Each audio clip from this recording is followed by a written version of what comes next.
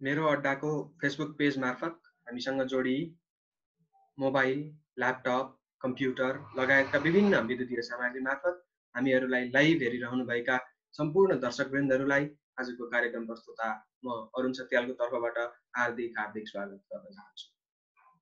मेरो अड्डा तथा लेक्स जियोरेस्टद्वारा प्रायोजित ल कुरा गरौँको आजको आठौँ श्रृङ्खलामा हामी global pandemic and migrant workers way forward अर्थात् महामारी र आप्रवासी कामदार भावी बाटोका विषयमा छलफल गर्न गइरहेका छौँ। यस विषयमा छलफल गर्ने क्रममा आज हामीहरूमा तिनजना अतिथि वक्ताहरू रहनु भएको छ। म उहाँहरूको परिचयबाट कार्यक्रमको सुरुवात गर्न चाहन्छु। पहिलो वक्ताका रूपमा हामीमा सन्ध्या सिटौलाजी हुनुहुन्छ। उहाँ हाल आइएलओ कन्ट्री अफिस नेपालमा नेसनल प्रोजेक्ट कोअर्डिनेटरका रूपमा कार्यरत एक कानुन व्यवसायी हुनुहुन्छ। त्यसै गरी हामीसँग दोस्रो वक्ता श्री भरत खनाल हुनुहुन्छ। उहाँ नेपाल सरकार परराष्ट्र मन्त्रालय शाखा अधिकृत हुँदै उहाँ रियाद स्थित नेपाली दूतावासमा द्वितीय सचिवका रूपमा कार्यरत हुनुहुन्छ। त्यसै गरी हामीमा तेस्रो वक्ताका रूपमा हुनुहुन्छ अनुराग देवकोटा। उहाँ law and policy forum for social justice ल्याप्सोजमा human rights लयरको रूपमा कार्यरत रहनुका साथसाथै five corridors project on fair recruitment of migrant work migration workers नामक परियोजनामा रिसर्चरको रूपमा कार्यरत हुनुहुन्छ। आउनुहोस् कार्यक्रमलाई अगाडि बढाउँ। अब प्रश्न उत्तरको श्रृङ्खलाबाट। हामी फेसबुक मार्फत लाइभ हेरिरहनुभएका दर्शकवृन्दहरूको पनि प्रश्नको जवाब सकेसम्म लिने प्रयास गर्नेछौँ। त्यो कार्यक्रमको अन्त्यमा हुनेछ। अहिले भने म मेरो पहिलो प्रश्न लिएर सन्ध्या सिटौला म्यामतर्फ अगाडि बढ्न चाहेँ। आइएलओमा कार्यरत हुनुहुन्छ उहाँ। र आइएलओले माइग्रेन्ट वर्करहरूको अधिकार सुनिश्चित गर्न गराउन के कस्ता कार्यहरू गर्ने गरेको छ त भन्ने प्रश्नबाट म कार्यक्रमलाई अगाडि बढाउन चाहन्छु। धन्यवाद अरुणजी। थ्याङ्क यू सो मच मेरो अड्डालाई हामीलाई यहाँनिर यस्तो प्लेटफर्म दिनुभएकोमा। तपाईँको प्रश्नमा चाहिँ हामी आइएलओमा के कार्य काम गर्छौँ भन्ने सन्दर्भमा चाहिँ आइएलओ चाहिँ एउटा स्ट्यान्डर्ड सेटिङ इन्स्टिट्युसन हो। हामी चाहिँ अब मापदण्डहरू बनाउने कामहरू गर्ने र धेरै हाम्रो कार्यक्रमहरू हामीले गर्ने कार्यहरू चाहिँ सबै सरकारसँग चाहिँ एकदमै आत्मनिर्भर हुन्छ र हामी चाहिँ गभर्मेन्टसँग चाहिँ एकदमै कोलाबोरेटिभ म्यानरमा काम गर्ने गरिरहन्छौँ। यो अहिलेको माइग्रेन्ट वर्कर्सहरूको सिचुएसनमा चाहिँ यो पेन्डेमिक पछाडिको सिचुएसनमा चाहिँ हामीले के के गरिरहेछौँ भन्ने कुरामा चाहिँ दुई तिनवटा कुरा हामीले एकदमै फोकस गरिरहेछौँ। पहिलो कुरा भनेको चाहिँ हामी कन्ट्री अफ डेस्टिनेसन किनकि हाम्रो आइएलओको अफिस चाहिँ कतिवटा धेरै हाम्रो डेस्टिनेसन कन्ट्रीहरूमा पनि भएको कारणले गर्दाखेरि कन्ट्री अफ डेस्टिनेसनसँगको गभर्मेन्टसँगको कामहरू र कन्ट्री अफ ओरिजिन जो हामी सेन्ट्रल कन्ट्री जस्तो नेपाल सरकारसँगको गर्नुपर्ने कार्यक्रम कामहरूमा पनि हामी चाहिँ हामीले आफ्नो टेक्निकल एडभाइजहरू वा हाम्रो हामीबाट केही कुराहरू खोजियो भने त्यस्तो खालको एडभाइजहरू दिने कामहरू गर्छौँ। त्यस्तै माइग्रेन्ट वर्कर्सहरूको राइट सम्बन्धी हाम्रो दुई तिनवटा चाहिँ कन्भेन्सन्सहरू छ जस्तै कन्भेन्सन नाइन्टी सेभेन जसले चाहिँ माइग्रेसन फर इम्प्लोइमेन्टको कुरा गर्छ त्यस्तै कन्भेन्सन नम्बर नाइन अर्को चाहिँ हाम्रो कन्भेन्सन नम्बर के अरे वान वान फोर्टी थ्री छ त्यसले पनि माइग्रेन्ट वर्कर्सहरूको राइटको विषयमा कुरा गर्छ। अर्को कन्भेन्सन वान जेरो टू छ त्यसले चाहिँ सोसल सेक्युरिटीको कुराहरू गर्छ। त्यो सबै कन्भेन्सनहरूमा चाहिँ के उल्लेख गरिएको छ भने कुनै पनि आप्रवासी श्रमिकहरूलाई चाहिँ नेसनल सिटिजन सर नै उनीहरूलाई पनि व्यवहार गरिनुपर्छ। विशेष गरी यो पेन्डेमिकको सिचुएसनमा चाहिँ त्यो कन्भेन्सनमा लेखिएको कुन कुराहरू चाहिँ एकदम आकर्षित हुन्छ भन्दाखेरिमा विदेशमा र विदेशमा काम गर्न जानुभएको जति पनि हाम्रो माइग्रेन्ट वर्कर्सहरूको चाहिँ मेडिकल राइट्सहरूको उनीहरूलाई चाहिँ नेसनल सिटिजन जस्तै उनीहरूको हेल्थ फेसिलिटीदेखि लिएर उनीहरूको कन्डिसन्सहरू टेस्टिङहरू यो सबै कुरामा चाहिँ उनीहरूलाई चाहिँ समान खालको व्यवहार गरिनुपर्छ भन्ने कुराहरू छ। त्यस्तै सोसियल सेक्युरिटीमा पनि के के लेखिया छ भने माइग्रेन्ट वर्कर र त्यहाँको नेसनल सिटिजनमा चाहिँ त्यस्तो स्किम्सहरूमा चाहिँ खासै भिन्नता गर्नु हुँदैन भन्ने कुराहरू छ। सो हाम्रो अहिलेको पहल कदमी भनेको चाहिँ सरकारलाई चाहिँ ती ती स्ट्यान्डर्ड्सहरू जे चाहिँ आइएलओको मापदण्ड अन्तर्गतको स्ट्यान्डर्ड्सहरू छ त्यो अनुसार चाहिँ आफ्नो कामहरू अगाडि बढाउन र माइग्रेन्ट वर्कर्सको स्थितिमा उनीहरूको कन्ट्र्याक्टमा लेखिएका कुराहरूलाई चाहिँ कसरी चाहिँ इम्प्लिमेन्ट गर्ने भन्ने कुरामा चाहिँ हामी चाहिँ दुइटै पक्षको सरकारहरूसँग हामीले सकेसम्मको कामहरू हामीले हाम्रो लबिङहरू हाम्रो एडभोकेसी र हाम्रो टेक्निकल इनपुट्सहरू दिने काममा चाहिँ हामी व्यस्त छौँ अहिले। धन्यवाद सन्ध्या म्याम। अब त्यसै गरी म प्रश्न लिएर वृत्तान्त खनाल सरतर्फ अगाडि बढ्न चाहन्छु। साउदी अरेबियामा हजुर रहँदै आउनुभएको के कति भयो र साउदी अरेबियाका बारेमा छोटो जानकारी दिँदै। यसले नेपालसँगको सम्बन्धका बारेमा के कसरी आफ्नो कार्यहरू गर्दै आइरहेको छ यो सम्बन्धहरू कसरी अगाडि बढाउँदै आइरहेको छ सो बारे प्रकाश पारिदिनु हुन अनुरोध गर्दछु। भरत सर। धन्यवाद अरुणजी म मेरो परिचय त गरिसक्नु नै भयो। म भरत खनाल द्वितीय सचिव नेपाली राजदवास रियाद म विगत साढे तिन वर्षदेखि नेपाली राजदवास रियादमा कार्यरत छु। र आजको कार्यक्रममा माइग्रेन्ट वर्कर्स र अबको बाटोको छलफल गर्दाखेरि विशेष गरी साउदी अरेबियामा नेपाली कामदारहरूको अवस्था के कस्तो छ भन्ने कुरा छलफल अगाडि बढाउनुभन्दा अगाडि खास गरी साउदी अरेबिया र नेपालको सम्बन्ध के कस्तो छ? हाम्रो कुटनीतिक सम्बन्ध कहिले स्थापना भयो? र हाम्रा सम्बन्धका विविध आयामहरू के कस्ता छन् भनेर छोटकरीमा म दुई तिन मिनटभित्र चाहिँ यो आफ्ना भनाइहरू राख्न चाहन्छु। साउदी अरेबिया नेपालको एउटा पुरानो मित्र हो र नेपाल र साउदी अरेबियाको कुटनीतिक सम्बन्ध नाइन्टिन सेभेन्टी सेभेनको मार्च पन्ध्रमा स्थापना भएको हो।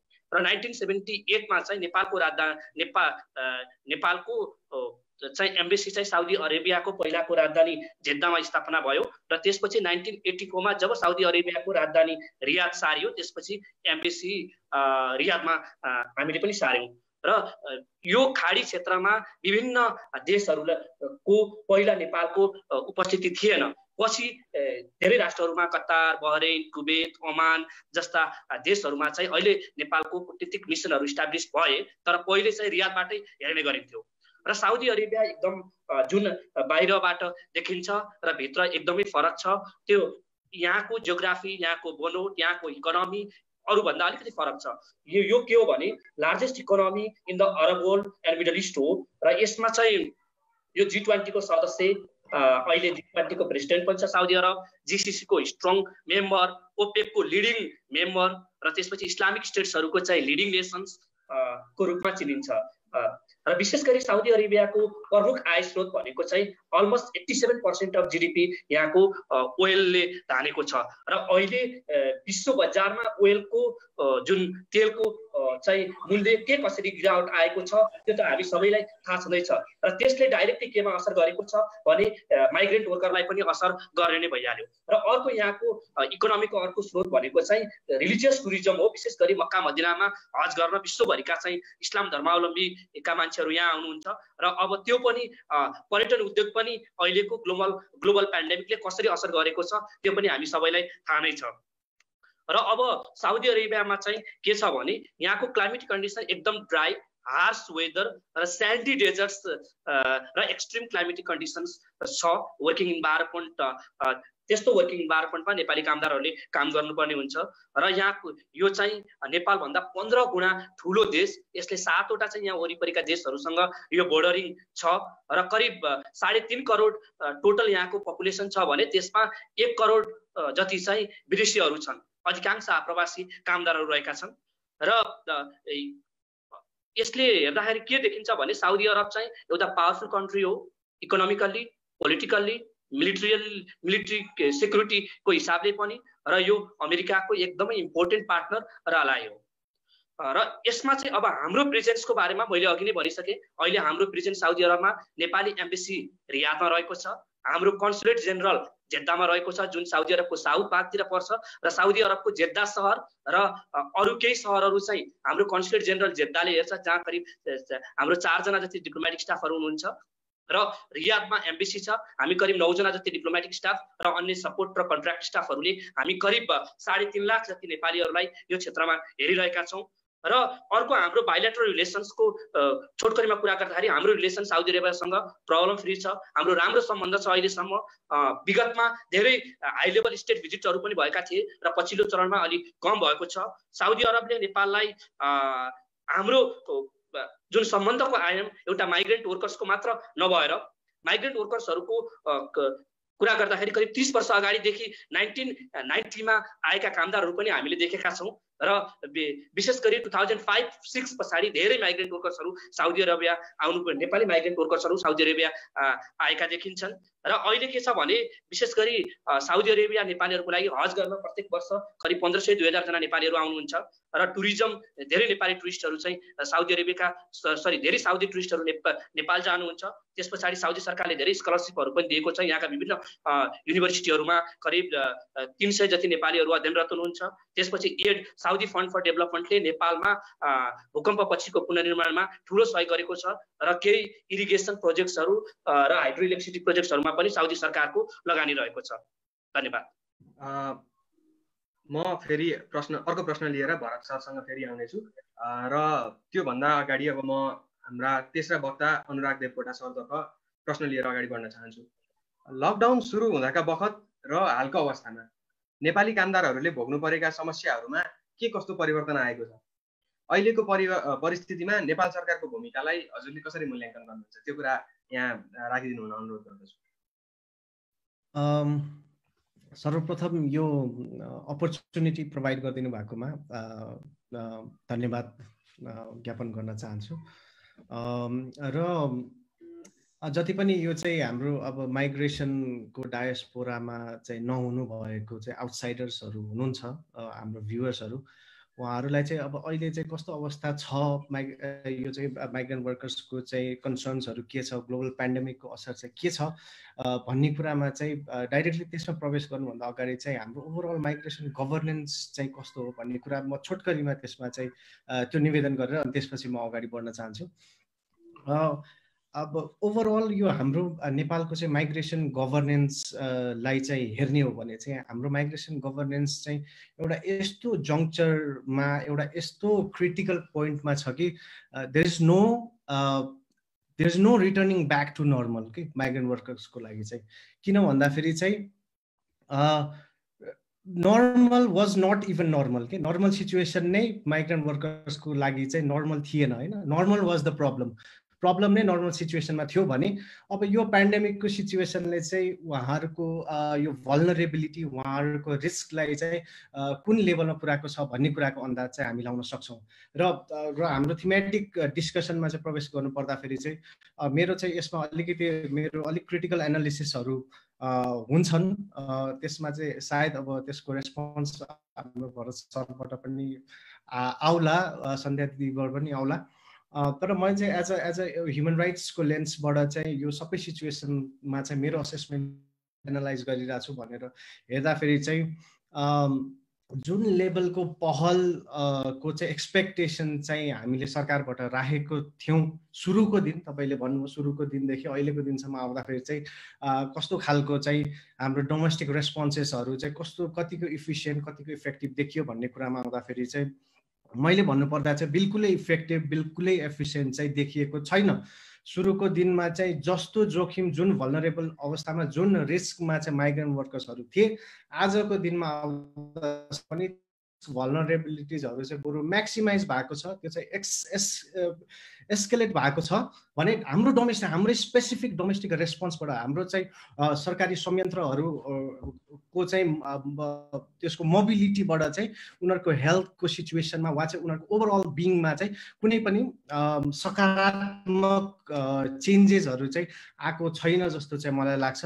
तर अर्को कुरा के पनि हो भन्दाखेरि एज एन आउटसाइडर मसँग चाहिँ भित्र चाहिँ के कस्तो खालको इन्टरनल डिस्कोर्सहरू डिस्कसन भइरहेको छ कुन लेभलमा चाहिँ छलफल भइरहेको छ के कस्तो प्लान स्किम्स मेकानिजम्सहरू चाहिँ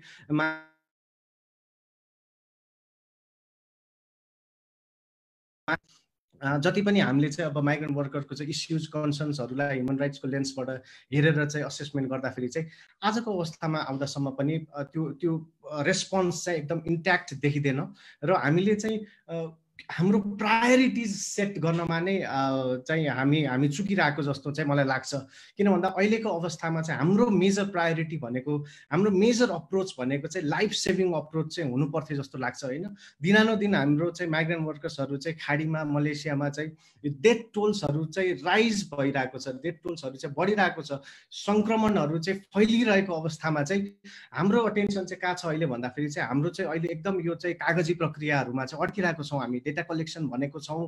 हो data collection is is important म मान्छु त्यो कुरा किन भन्दाखेरि त्यसबाट नै हामीले चाहिँ फर्दर हाम्रो चाहिँ परियोजना चाहिँ कस्तो हुने हाम्रो प्लान्स रि रिटर्नको प्लान्स चाहिँ कुन लेभलमा हामीले सोच्ने रिइन्टिग्रेसनमा चाहिँ कस्तो खालको चाहिँ अप्रोचेसहरू ल्याउने भन्ने कुराको त्यो स्टेपिङ स्टोन भनेको चाहिँ यही डेटा नै हुन्छ विच इज भेरी इम्पोर्टेन्ट मलाई म मान्छु यो चाहिँ यो चाहिँ हो तर आई आई डोन्ट थिङ्क यो चाहिँ टाइमली चाहिँ यो रेस्पोन्स चाहिँ गभर्मेन्टको चाहिँ डेटा भन्दा पनि लाइफ सेभिङ अप्रोचतिर चाहिँ जानुपर्ने हो। र यो चाहिँ भाइरसको कारणले मात्रै मृत्यु भइरहेको छैन। हेर्नुहोस् है यहाँ चाहिँ के भइरहेको छ भन्दा यो चाहिँ फियर र इन्सेक्युरिटीले चाहिँ धेरै डेथ टोल्सहरू चाहिँ राइज भइरहेको छ। सुसाइडको केसेसहरू चाहिँ रेकर्ड भइरहेको छ। कार्डियक अरेस्टहरू यो चाहिँ स्ट्रेस इन्ड्युस्ड चाहिँ भल्नरेबिलिटिजहरूबाट चाहिँ हाम्रो माइग्रेन्ट वर्कर्सहरूको चाहिँ डेथमा चाहिँ राइज भइरहेको अवस्थामा चाहिँ हाम्रो हाम्रो चाहिँ सुरुवाती दिनदेखि नै हाम्रो चाहिँ सरकारमा चाहिँ सरकारप्रति चाहिँ ठुलो एक्सपेक्टेसन थियो र अहिलेसम्म चाहिँ एटलिस्ट त्यसलाई चाहिँ प्र्याक्टिकल लेभलमा हेर्दाखेरि चाहिँ त्यसमा केही केही हसल्सहरू डोमेस्टिक रेस्पोन्सेसहरू चाहिँ अलिक अलिक प्र्याक्टिकल फर्ममा चाहिँ आउनुपर्ने अवस्थामा चाहिँ त्यो नआइसकेको अवस्था हेर्दाखेरि चाहिँ अलिकति त्यसमा हामी चुकिरहेको छौँ। र मैले यहाँ चाहिँ अलिक इम्पोर्टेन्टली मैले हाइलाइट गर्नुपर्ने कुरा के पनि हो भन्दाखेरि भाइरसको सङ्क्रमणको जोखिम आफ्नो ठाउँमा छ। र यो सुसाइडको केसेसहरू फियर र इन्सेक्युरिटी आफ्नो ठाउँमा छ भने खाडीको मुलुकमा हेर्ने भने चाहिँ एकदम म्यासिभ रूपमा चाहिँ यो लेबर राइट्स भायोलेसन्सको केसेसहरू चाहिँ एकदम राइजमा आइरहेको छन्। तपाईँ हेर्नुहुन्छ भने फोर्स लेबरको केसेसहरू भइरहेको छैन। एकदम अनफेयर वर्किङ इन्भाइरोमेन्टमा उनीहरूलाई काम गर्न बाध्य बनाइरहेको छ। फोर्सफुल रेजिग्नेसनहरू गर्न चाहिँ बाध्य बनाइएको छ भने अझै लकडाउनभन्दा अगाडिको सिचुएसनमा चाहिँ उनीहरूलाई फोर्सफुल्ली चाहिँ डिपोर्ट पनि गरियो। उनीहरूको लागि चाहिँ अब उनीहरूको मेबी अब त्यो वेजेसहरू ग्यारेन्टी गरिएको छैन। जुन स्यालेरी सोसियल सेक्युरिटी स्किम्सहरू उनीहरूले पाउनुपर्ने हो। त्यो त्यो सबै कुराहरूको चाहिँ एउटा यो चाहिँ सबै अकुमुलेट हुँदाखेरि चाहिँ यस्तो फिजिकल र मेन्टल रिस्क त्यो चाहिँ त्यो जोखिममा चाहिँ हाम्रो माइग्रेन्ट वर्कर्सहरू छन्। त्यो अवस्थामा चाहिँ हामीले यति ठुलो र यति सिरियस ऱ्यापिड रेस्पोन्सको चाहिँ हामीलाई अपेक्षा थियो। त्यो अपेक्षा बावजुद चाहिँ केही पनि त्यो इफोर्ट डोमेस्टिक रेस्पोन्सेसहरू चाहिँ त्यो त्यो लेभलमा चाहिँ अलाइन नभएको देख्दाखेरि चाहिँ मेरो चाहिँ थोरै यसमा चाहिँ चित्त दुखाइ पनि छ र मेरो आग्रह पनि सरकारप्रति चाहिँ अब ऱ्यापिडली गर्नुपर्ने ठाउँमा चाहिँ अलिकति ढिलो भएको हो कि भन्ने ध्यान आकर्षण पनि म गराउन चाहन्छु। अब यो प्रश्नलाई मैले यहीँ बिट मार्दै अर्को प्रश्न लिएर म सन्ध्या सिटौला म्यामतर्फ फेरि अगाडि बढ्न चाहेँ। यो विश्वव्यापी रूपमा कोरोनाको महामारी फैलिरहेको छ। अब यो प्रकोपले गर्दाखेरि माइग्रेन्ट वर्कर अथवा आप्रवासी कामदारहरूले पनि समस्याहरू भोग्नु परेको छ। ती समस्याहरू चाहिँ आर्थिक सामाजिक स्वास्थ्य लगायतका मानसिक विभिन्न क्षेत्रहरूमा चाहिँ त्यो एक्सटेन्डसम्म चाहिँ एक्सटेन्ड भइरहेका छन् यी समस्याहरू। अब यस्तो समयमा कसरी ती समस्याहरूलाई न्यूनीकरण गर्न सकिएला त? अब यो प्रश्नमा चाहिँ मैले के भन्न चाहन्छु भन्दाखेरिमा हामी चाहिँ अब आइएलओ चाहिँ कसरी काम गर्छ भन्ने कुरा बुझ्नु एकदमै जरुरी छ। हामी चाहिँ एकदम ट्राइपोटाइड मोडलमा काम गर्छौँ। सो आइएलओको काम भनेको सबै त्रि तिन पक्षीय समझदारीमा हामीले काम गर्ने भएको कारणले गर्दाखेरि हाम्रो स्टेक होल्डर्स भनेको चाहिँ गभर्मेन्ट अनि रोजगारदाता र कामदारहरू। तिनैजनाको लागि चाहिँ तिनैजनाको चाहिँ संयुक्त मिश्रणमा चाहिँ हामी काम गर्ने हाम्रो मोडालिटी भएको कारणले गर्दाखेरि चाहिँ हाम्रो हाम्रो पहल कदमीहरू पनि यो तिनटै एक्टर्सहरूसँगको कोअर्डिनेसनमै एकदमै धेरै भर पर्ने हुन्छ। सो अहिले हामीले के गरिरहेको छौँ भन्ने भन्ने हिसाबमा चाहिँ हामीले चाहिँ गभर्मेन्टसँग गर्नुपर्ने लियजो हामी गरिरहेछौँ। गभर्मेन्टसँगको हाम्रो चाहिँ फ्रिक्वेन्टली मिटिङ्सहरू पनि भइरहेको छ। हामीले विभिन्न स्टेक होल्डर्सहरूसँग सरकारवालाहरूसँग मिटिङ्सहरू गरेर आ आएका उहाँहरूबाट आएका रेकमेन्डेसन्सहरू सुझावहरू चाहिँ गभर्मेन्ट समक्ष पुऱ्याइदिने हामीले एउटा काम गरिरहेको छौँ भने त्यस्तै हामीले रोजगारदाताहरूसँग रोजगारदाताहरूसँग चाहिँ हामी हाम्रो अब डेस्टिनेसन कन्ट्रीमा आइएलओको अफिसहरू भएको ठाउँहरूमा चाहिँ रोजगारदाताहरूसँग त्यहाँ रिच गर्ने र उहाँहरूलाई पनि लेबर राइट्सको कुरा जसरी अघि अनुरागजीले भन्दै हुनुहुन्थ्यो कि माइग्रेन्ट वर्कर्सहरूको चाहिँ अब लेबर राइट्सहरू चाहिँ एकदमै भायोलेट भएको छ। धेरै किसिम किसिमको समस्यामा उहाँहरू पर्नु भएको छ। उहाँहरूको जब लुजदेखि गएको कुरादेखि लिएर उहाँहरूलाई चाहिँ डिपोर्टेसन गरेको कुरादेखि लिएर स्यालेरी नदिएको वा उहाँहरूको चाहिँ कन्ट्र्याक्ट पिरियडमै उहाँलाई चाहिँ आफ्नो कामबाट निकालिएको वा जबरजस्ती काममा लगाइएको एकदम लामो समयसम्म काममा लगाइएको र आफ्नो आफ्नो नेसनललाई चाहिँ त्यो काममा नलाउने उनीहरूलाई चाहिँ लकडाउन गरेर उनीहरूलाई चाहिँ सुरक्षित राख्ने तर आफ्नो अरू अब माइग्रेन्ट वर्करहरूलाई चाहिँ त्यो जोखिमपूर्ण कामहरूमा पनि जोखिमपूर्ण अवस्थामा पनि काम लगाउने कुराहरू जुन अघि निकाल्नु भयो त्यो कुराहरूमा चाहिँ हाम्रो पनि ध्यान आकर्षण र हामीले पनि आइलोले पनि आफ्नो तर्फबाट चाहिँ इम्प्लोयर्सहरूसँग रिच गर्नुपर्ने हो कि त हाम्रो आफ्नै संयन्त्र छ। आइलोको आफ्नो अब युनियनहरूको आफ्नो एउटा इन्टरनेसनल ट्रेड युनियनको कन्फेडरेसन छ जस्तो छ भने इम्प्लोयर्सहरूको पनि आफ्नै एउटा सङ्गठन छ। सो त्यो सङ्गठनहरूबाट पनि मोबिलाइज गरेर चाहिँ इम्प्लोयर्सहरूसँग रिच हुने कामहरू चाहिँ धेरैवटा डेस्टिनेसन कन्ट्रीमा इम्प्लोयर्सहरूसँग चाहिँ तपाईँहरूले चाहिँ अब लेबर राइट्सहरूलाई चाहिँ कसरी तपाईँहरूले चाहिँ आफ्नो आफ्नै गर्ने कामहरूमा चाहिँ लेबर राइट्सको मापदण्डहरू चाहिँ फुलफिल गर्नुपर्छ र कतिवटा डेस्टिनेसन कन्ट्री यदि आइएलओको कन्भेन्सनको चाहिँ सिग्नेटरी छन् स्टेट पार्टी छन् भने त्यो तर्फबाट पनि गभर्मेन्टले चाहिँ गभर्मेन्टलाई प्रेसराइज गर्ने कामहरू पनि हामीले गरिरहेको हुन्छौँ। सो हामीले गर्ने काम भनेको विशेष गरिकन इम्प्लोयर्सहरूलाई रिच गर्ने डेस्टिनेसन कन्ट्रीको गभर्मेन्टसँग कुरा गर्ने जस्तो आइएलओको कतारमा हाम्रो आइएलओ कन्ट्री अफिस कतारमा कतारमा छ। सो त्यहाँनिरबाट अब रिपोर्ट गरेको अघि कुराहरू गरिरहनु भएको थियो अनुरागले। हामीले पनि यहाँबाट सिभिल सोसाइटी अर्गनाइजेसनले पनि धेरैवटा प्रेस विज्ञप्तिहरू निकाल्नु भएको थियो।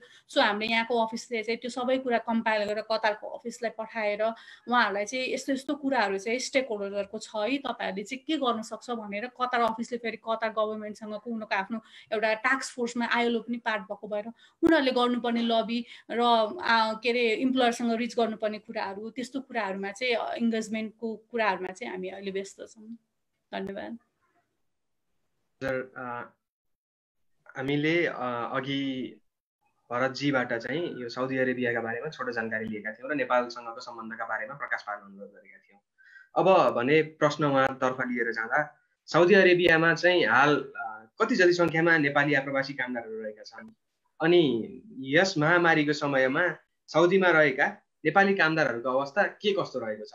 र त्यहाँ यदि सङ्क्रमित नेपालीहरू छन् भने ती सङ्क्रमित नेपालीहरूको उपचार चाहिँ कसरी भइरहेको छ? त्यो कुरा यहाँ जानकारी गराइदिनु साउदी अरेबियामा हाल करिब यहाँको सरकारले यो लकडाउनको बिचमा चाहिँ हामीलाई डाटा उपलब्ध गराएको थियो र अहिले करिब तिन लाख पाँच हजार आठ सय छयालिसजना नेपाली कामदारहरू साउदी अरबमा हुनुहुन्छ लिगल डकुमेन्टेड। र केही अनडकुमेन्टेड हुनुहुन्छ त्यो केही थोरै सङ्ख्यामा केही पाँच सात हजार आठ दस हजार हुनुहुन्छ होला त्योभन्दा बढी हुनुहुन्न। विगत केही वर्ष अगाडि पाँच छ लाख नेपालीहरू हुनुहुन्थ्यो पछिल्लो समयमा नेपालीको सङ्ख्या घटेको छ। र त्यसमा चाहिँ महिलाको सङ्ख्या साउदी अरबमा करिब पाँच हजार सात सय पचपन्नजना महिलाहरू हुनुहुन्छ। र अहिले अहिलेको नेपाली कामदारहरूको अवस्था नेपाली कामदारहरूको टोटल सङ्ख्या भनेको यही नै हो। र अलिकति कोभिड नाइन्टिनको बारेमा कुरा गर्दाखेरि यो जिसी जिसिसी कन्ट्रिजहरूमा अलि साउदी अरेबियामा अन्य देशहरूभन्दा धेरै पछि देखियो। चाइनाबाट कोरिया थाइल्यान्ड इरान हुँदै इरानमा यो क्षेत्रको अलिकति इरानमा धेरै समस्या देखिसकेपछि साउदी अरबले धेरै प्रिकसन्सहरू लियो डोमेस्टिक इन्टरनेसनल फ्लाइट्सहरूको चाहिँ कट गर्यो। त्यसपछि बोर्डर रेस्ट्रिक्सन्सहरू जिसिसी मुभमेन्ट्सहरूमा चाहिँ स्टप गरिसकेपछि चाहिँ उसले सिचुएसन अन्डर कन्ट्रोल ल्याउन ल्याउने प्रयास नै गर्यो। र यद्यपि कुवेत बहरैन जस्ता देशहरू युए जस्ता देशहरूमा देखिसकेपछि कतारमा पनि देखियो र साउदी अरबमा सुरुको सुरुवाती हप्तामा एकदमै नगन्य सङ्ख्यामा करिब दुई तिन सय चार पाँच सयको सङ्ख्यामा रहेको थियो भने विगत करिब बिस पच्चिस दिन यता यो सङ्क्रमणको रेट असाध्यै धेरै भएको छ। र हिजो आठ मेको लेटेस्ट डाटा अनुसार चाहिँ यहाँ पैँतिस हजार चार सय बत्तिसवटा चाहिँ टोटल इन्फेक्टेड केसेसहरू छन्।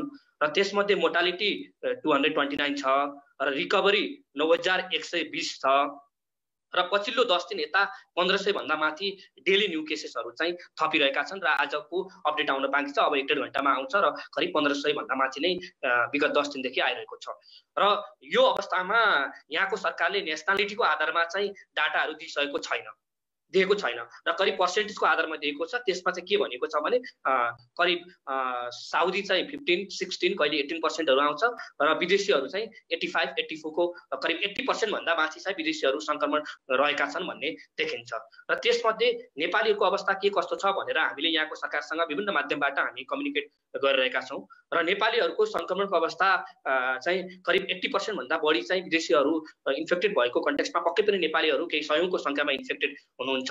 विभिन्न एनआरएन विभिन्न सङ्घ संस्था एनआरएन लगायत अन्य सङ्घ संस्थाहरू र यहाँका कम्पनी र स्वयं कामदारहरूको कुराकानीको हिसाबमा हामीले के केही नेपाली चार पाँच सय अथवा त्योभन्दा बढी पनि हुन सक्छन् भन्ने हाम्रो एजम्सन छ। यो यो खालि मेरो पर्सनल एजम्सन मात्रै हो अफिसियल डाटा होइन। र त्यसमा चाहिँ साउदी अरबको इन्फेक्सन अहिले विश्वको जुन वर्ल्डोमिटरको चाहिँ त्यो जस्तै डाटा दिइरहेको छ त्यहाँ हेर्दाखेरि चाहिँ साउदी अरब सत्रौँ नम्बरमा इन्फेक्टेड कन्ट्रीमा पर्छ। र जुन डेथको कुरा गर्दाखेरि चाहिँ अन्य देशको तुलनामा साउदी अरबमा डेथ रेट एकदमै कम छ। र त्यही सङ्ख्यामा करिब पैँतिस पैँतिस चालिस हजार युरोपमा त्यही सङ्ख्यामा इन्फेक्ट इन्फेक्टेड हुँदाखेरि दुई हजार पच्चिस सय डेथ छ भने साउदी अरबमा हाल टु ट्वेन्टी नाइन मात्र डेथ छ। यसको लागि चाहिँ यो विभिन्न विभिन्न कारणले हुनसक्छ प्रिकसन्स लगायतका कारणहरू जुन म पछि आउने नै छु। र यो हेर्दाखेरि अहिले नेपालीहरूको अवस्था के छ भने यहाँको सरकारले सङ्क्रमण भएको केही हप्तामै राजाले चाहिँ आदेश जारी गर्दै प्रत्येक साउदी अरबमा भएका प्रत्येक व्यक्तिले जो विदेशी होस् स्वदेशी होस् उसले hundred percent free of cost उपचार पाउनु पर्यो र नो निड टु पे भनेर राजाले नै आदेश जारी गर्नुभयो यहाँको। र त्यसपछि चाहिँ विगतदेखि नै साउदी अरेबियाको हेल्थ सर्भिस चाहिँ अलिकति मोडर्न एक्सेसेबल र रिलायबल नै छ। यिनीहरूले हेल्थ सेक्टरमा राम्रो इन्भेस्ट गरेका छन्। र अनि अर्को कामदार आप्रवासी कामदारहरूको लागि अर्को महत्त्वपूर्ण विषय के हो भने धेरै आप्रवासी कामदारहरू इलिगल हुने डराउने उनीहरूसँग केही डकुमेन्टहरू अपुग हुने भएको कारणले गर्दा उनीहरू चाहिँ हस्पिटल जान डराउँछन्। र र यहाँको सरकारले के पनि निर्देशन जारी जारी गर्यो भने हस्पिटलमा कोही मान्छे आयो भने उसको आइडेन्टिटी नखोज्ने। उसको यहाँको आइडेन्टिटी कार्ड यहाँको जुन हामी अकामा भन्ने गर्छौँ कुनै पनि डकुमेन्ट नखोजेर कुनै पनि नागरिकले म बिरामी छु र मलाई चाहिँ शङ्का छ भनेपछि उसले फ्रीली उपचार हन्ड्रेड पर्सेन्ट फ्री उपचार पाउनुपर्छ भन्ने जुन यहाँको सरकारले ग्यारेन्टी गरिसकेपछि चाहिँ त्यो का आप्रवासी नेपाली कामदारहरू चाहिँ अलिकति सुरक्षित छन् भन्न। अहिले मैले अन्य कामदारहरू भन्दा पनि नेपाली कामदारको हकमा कुरा गरिरहेको छु। र त्यसमा हामीले कोही नेपाली कामदारहरूसँग कुरा गरिरहेका गरेका पनि छौँ जो चाहिँ कोभिड नाइन्टिन सङ्क्रमण भइसकेर ब्याक टु वर्क आइसक्नु भएको उहाँहरूलाई तपाईँहरूलाई कस्तो ट्रिट गरेको थियो तपाईँहरूलाई खानाको अवस्था कस्तो थियो ट्रिटमेन्ट कस्तो थियो भनेर कुरा गर्दाखेरि हामीले पोजिटिभ रेस्पोन्स नै पाएका छौँ। र केही कामदारहरू चाहिँ मलाई यहाँको सरकारले टोल फ्री नम्बर दिएको छ र त्यहाँ सम्पर्क गर्दाखेरि विभिन्न भाषागत अन्य कारणले गर्दा होला उहाँहरू फोन गर्नुहुन्छ। फोन गरिसकेपछि चाहिँ आफू कोही आत्तिएर स्ट्रेसमा डर फियरको कारणले गर्दाखेरि फोन गर्नुहुन्छ र यहाँको हेल्थ प्रोफेसनल्सहरूले चाहिँ सुरुमा बुझ्ने गर्नुहुन्छ र त्यसमा अलिकति कम्प्लिकेटेड केस छ जस्तो लाग्यो भने आएर चाहिँ एम्बुलेन्सबाट दे टेक टु हस्पिटल होइन। अनि केही हकमा चाहिँ हामीले के गरेका छौँ भने कामदारहरूले सोझै हामीलाई पनि फोन गर्छन्। हामी चाहिँ यहाँको मिनिस्ट्री अफ हेल्थ र सम्बन्धित निकायहरूमा चाहिँ यस्तो यस्तो ठाउँमा नेपालीहरू यो अवस्थामा छन् प्लिज उहाँहरूको चाहिँ फेसिलिट गरिदिनुहोस् उहाँहरूलाई मेडिकल उपचार गरिदिनुहोस् भनेर हामी पनि रिक्वेस्ट गरिरहेका गरिरहेका छौँ। र यहाँको सरकारले अहिलेको आजको दिनसम्म चाहिँ पोजिटिभली रेस्पोन्स गरेको छ। नेपालीहरूले उपचारहरू पाइरहेका छन् र नागरिक साउदी नागरिक र विदेशीको हकमा चाहिँ अहिलेसम्म डिस्क्रिमिनेट गरेको छैन। फ्री अफ कस्ट छ। भरतजीले जानकारी गराउनु भयो बमोजिम। साउदी अरेबियामा पनि थोरै नभए पनि केही सङ्ख्यामा नेपालीहरू सङ्क्रमित छन् भन्ने देखियो। त्यहाँ त सरकारले राम्रैसँग त्यहीँकै त्यहीँकै सरकारले राम्रोसँग कार्य गरिरहेको छ भन्ने कुरा जानकारी गराउनु भयो अब जुन अवस्था चाहिँ साउदी अरेबियामा छ त्यो विश्वभरि नै त्यही छ भन्ने सायदै होला। यो विषयलाई चाहिँ यो विषयमा केही प्रकाश पारिदिनु हुन? म अबको प्रश्न चाहिँ अनुराग देवकोटा सरतर्फ अगाडि लिएर जान चाहन्छु। नेपालमा रहेका मानवाधिकार संरक्षण आयोग लगायतका विभिन्न अन्य जिम्मेवार निकायहरूले नेपाली आप्रवासी कामदारहरूको सुविधा तथा सुरक्षाका लागि के कस्ता पहलहरू गरेका छन्? अनि यी पहलहरू के? तपाईँका तर्फबाट अथवा तपाईँका लागि चाहिँ सन्तोषजनक छन् जस्तो लाग्छ त?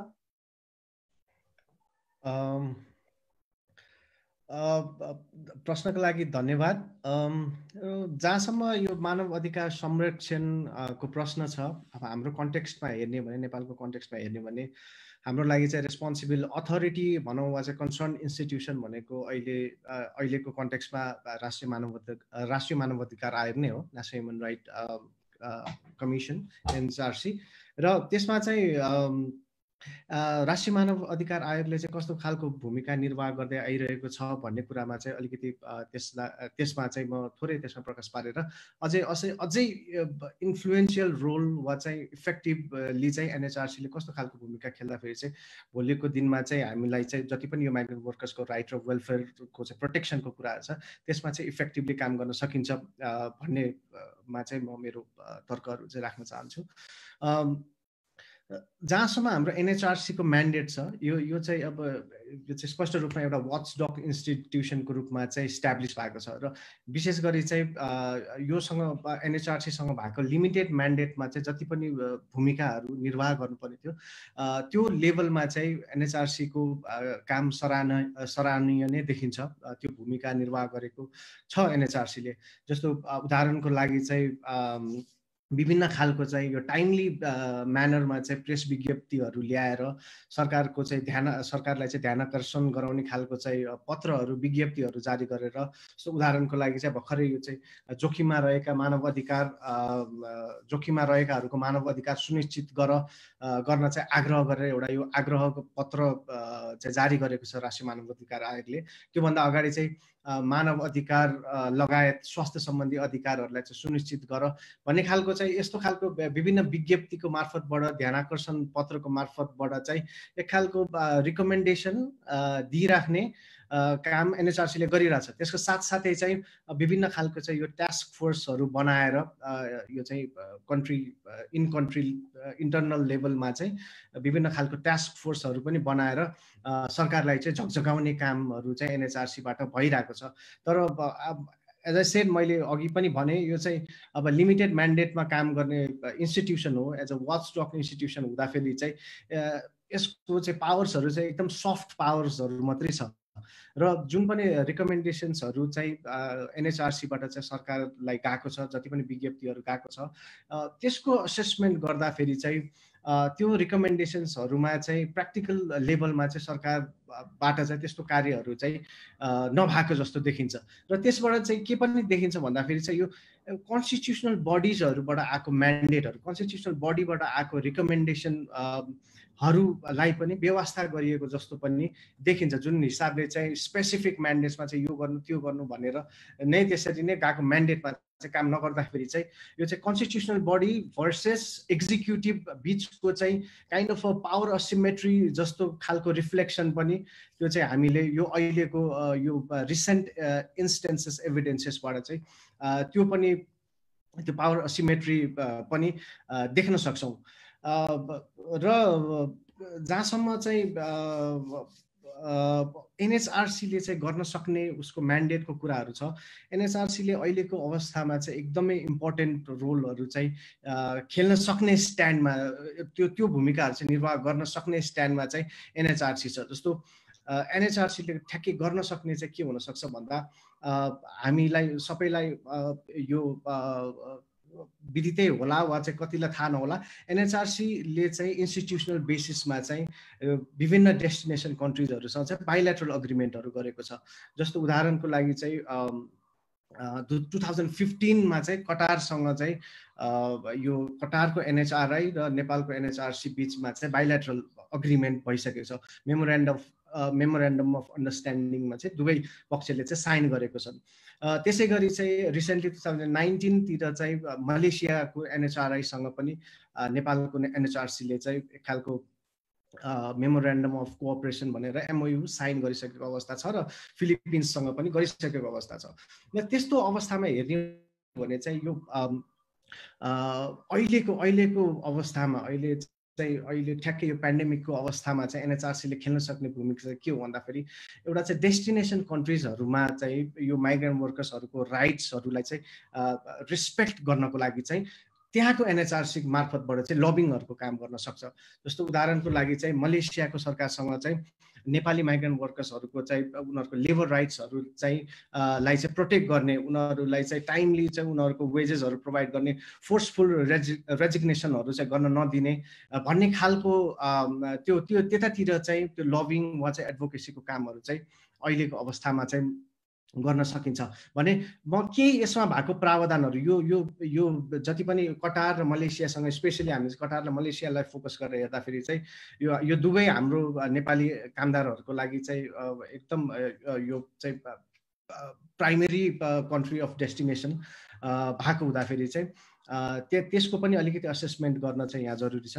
जस्तो यो दुवैको चाहिँ एमओयुमा चाहिँ दुवै पार्टीले चाहिँ दुवै एनएचआरसीको पार्टीले चाहिँ के कुरामा चाहिँ अग्री गरेको छ भन्दाखेरि दुवैजनाले चाहिँ वर्कर्सहरूको राइटको चाहिँ एडभान्समेन्टमा चाहिँ काम गर्ने र वर्कर्सहरूको चाहिँ कन्डिसन इम्प्रुभ गर्नको लागि चाहिँ कस्तो खालको पहलहरू गर्न सकिन्छ त्यो चाहिँ डिप्लोमेटिक च्यानल्सहरूबाट पहल गर्न सकिन्छ भने डिप्लोमेटिक च्यानल्समा जाने इन्टर मिनिस्टेरियल कोअपरेसन गर्न सकिन्छ भने इन्टर मिनिस्टेरियल लेभलमा चाहिँ कोअपरेसन कोअपरेसन गर्ने र सपोर्ट सिस्टमहरू उनीहरूको चाहिँ हक अधिकारहरूलाई चाहिँ सुनिश्चित गर्न चाहिँ सपोर्ट सिस्टमहरू जरुरत हुन्छ भने जरुरी हुन्छ भने त्यस्तो सपोर्ट सिस्टमहरू पनि जेनेरेट गर्ने भन्ने खालको चाहिँ यस्तो यस्तो सहमतिहरू भएको छ।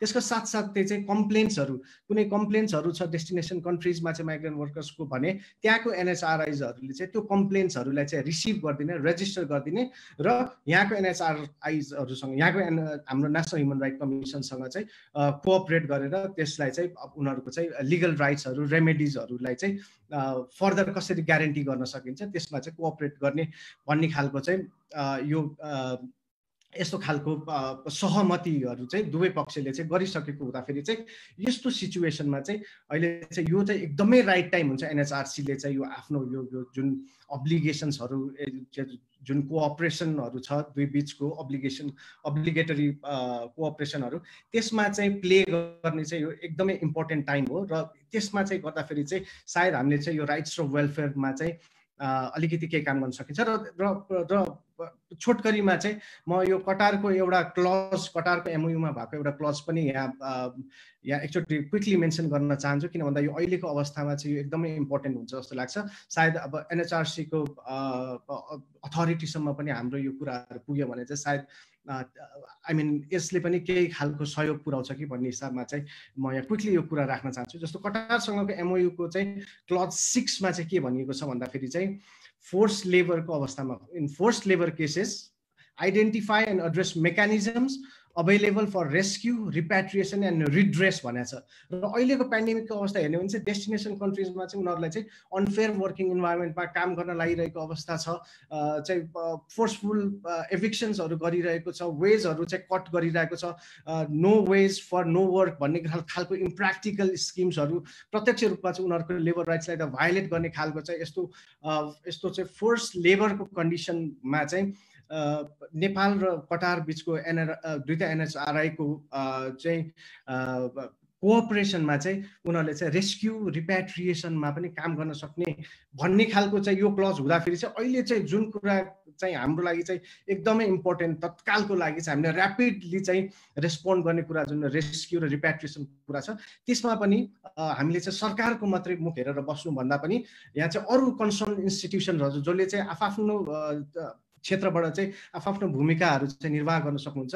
त्यसमा त्यसतर्फ चाहिँ हामीले अलि हाम्रो चाहिँ अलिकति ध्यान आकर्षण हुन जरुरी छ र त्यसमा पनि एनएचआरआईको कुरा गर्दाखेरि चाहिँ यस्तो खालको पावर यस्तो खालको चाहिँ एक खालको यो यो यो लिबर्टी चाहिँ एनएचआरआईहरूसँग हुँदाखेरि चाहिँ त्यतातिर पनि एनएचआरआईको ध्यान आकर्षण हुन जरुरी छ र क्विकली अहिले चाहिँ यो पेन्डेमिकको सिचुएसनमा चाहिँ एनएसआरआइजले खेल्ने रोलहरू चाहिँ यी अब एडभोकेसीको कुराहरू कम्प्लेन रेजिस्ट्रेसनको कुरा कुराहरू भयो भने पोस्ट पेन्डेमिकको सिचुएसनमा जब चाहिँ हामी हाम्रोमा चाहिँ मास इन्फ्लक्स अफ यो रिटर्निङ माइग्रेन्ट वर्कर्सहरूको चाहिँ मास इन्फ्लक्स हुन्छ त्यसपछि चाहिँ यहाँ धेरैवटा चाहिँ होइन म चाहिँ म आफ्नो पर्सनल लेभलबाट चाहिँ एन्टिसिपेट गर्न सक्छु कि यति धेरै लेबर केसेसहरू चाहिँ रेजिस्टर हुनेवाला छन् होइन डेस्टिनेसन कन्ट्रिजको इम्प्लोयर्सहरूको अगेन्स्टमा र त्यस्तो अवस्थामा चाहिँ प्रपरली चाहिँ उनीहरूको कन्सर्न्सहरूलाई चाहिँ रेकर्ड गरिदिने उनीहरूको कम्प्लेन्सहरूलाई चाहिँ डेस्टिनेसन कन्ट्रिजहरूको चाहिँ एनआर एनएसआरआइजहरूले चाहिँ त्यसलाई रेजिस्टर गरिदिने र साथसाथै चाहिँ उनीहरूको पेन्डिङ सोसल सेक्युरिटीको बाट आउने रिटर्न्सहरू पेन्डिङ भएको अवस्था हुनसक्छ। वेलफेयर स्किम्सबाट चाहिँ आउने रिटर्नहरू चाहिँ पेन्डिङ भएको हुनसक्छ। उनीहरूको वेजेसहरू नै स्यालेरीहरू कति महिनादेखिको स्यालेरी कति वर्षदेखिको स्यालेरीहरू पेन्डिङ हुन्छ। यो चाहिँ अब यो फर्केर आइसकेको पछि पनि यो यो कुराहरू चाहिँ त्यत्तिकै सेटल डाउन हुनेवाला छैन। त्यसमा चाहिँ ह्युज यो चाहिँ लिगल राइट्सको रेमेडीको लागि चाहिँ त्यो डिस्प्युट सेटलमेन्टको लागि चाहिँ ठुलो रेटमा चाहिँ केसेसहरू चाहिँ आउन सक्ने चान्सेसहरू भएको हुँदाखेरि चाहिँ अहिले नै यो यसलाई चाहिँ डकुमेन्टेसनहरूमा चाहिँ यो एनएचआरआइजहरूले चाहिँ को फेसिलिटेट गरेर एकअर्कासँग चाहिँ त्यो समन्वय गर्दाखेरि चाहिँ गऱ्यो भने चाहिँ त्यो फ्रन्टमा पनि अलिकति चाहिँ एक्टिभली र इफिसियन्टली चाहिँ काम गर्न सकिन्छ भन्ने जस्तो चाहिँ मलाई लाग्छ। यहाँ अनुराग सरले अब समस्याहरू त यावत छन् भनेर व्यक्त गरिसक्नु भएको छ।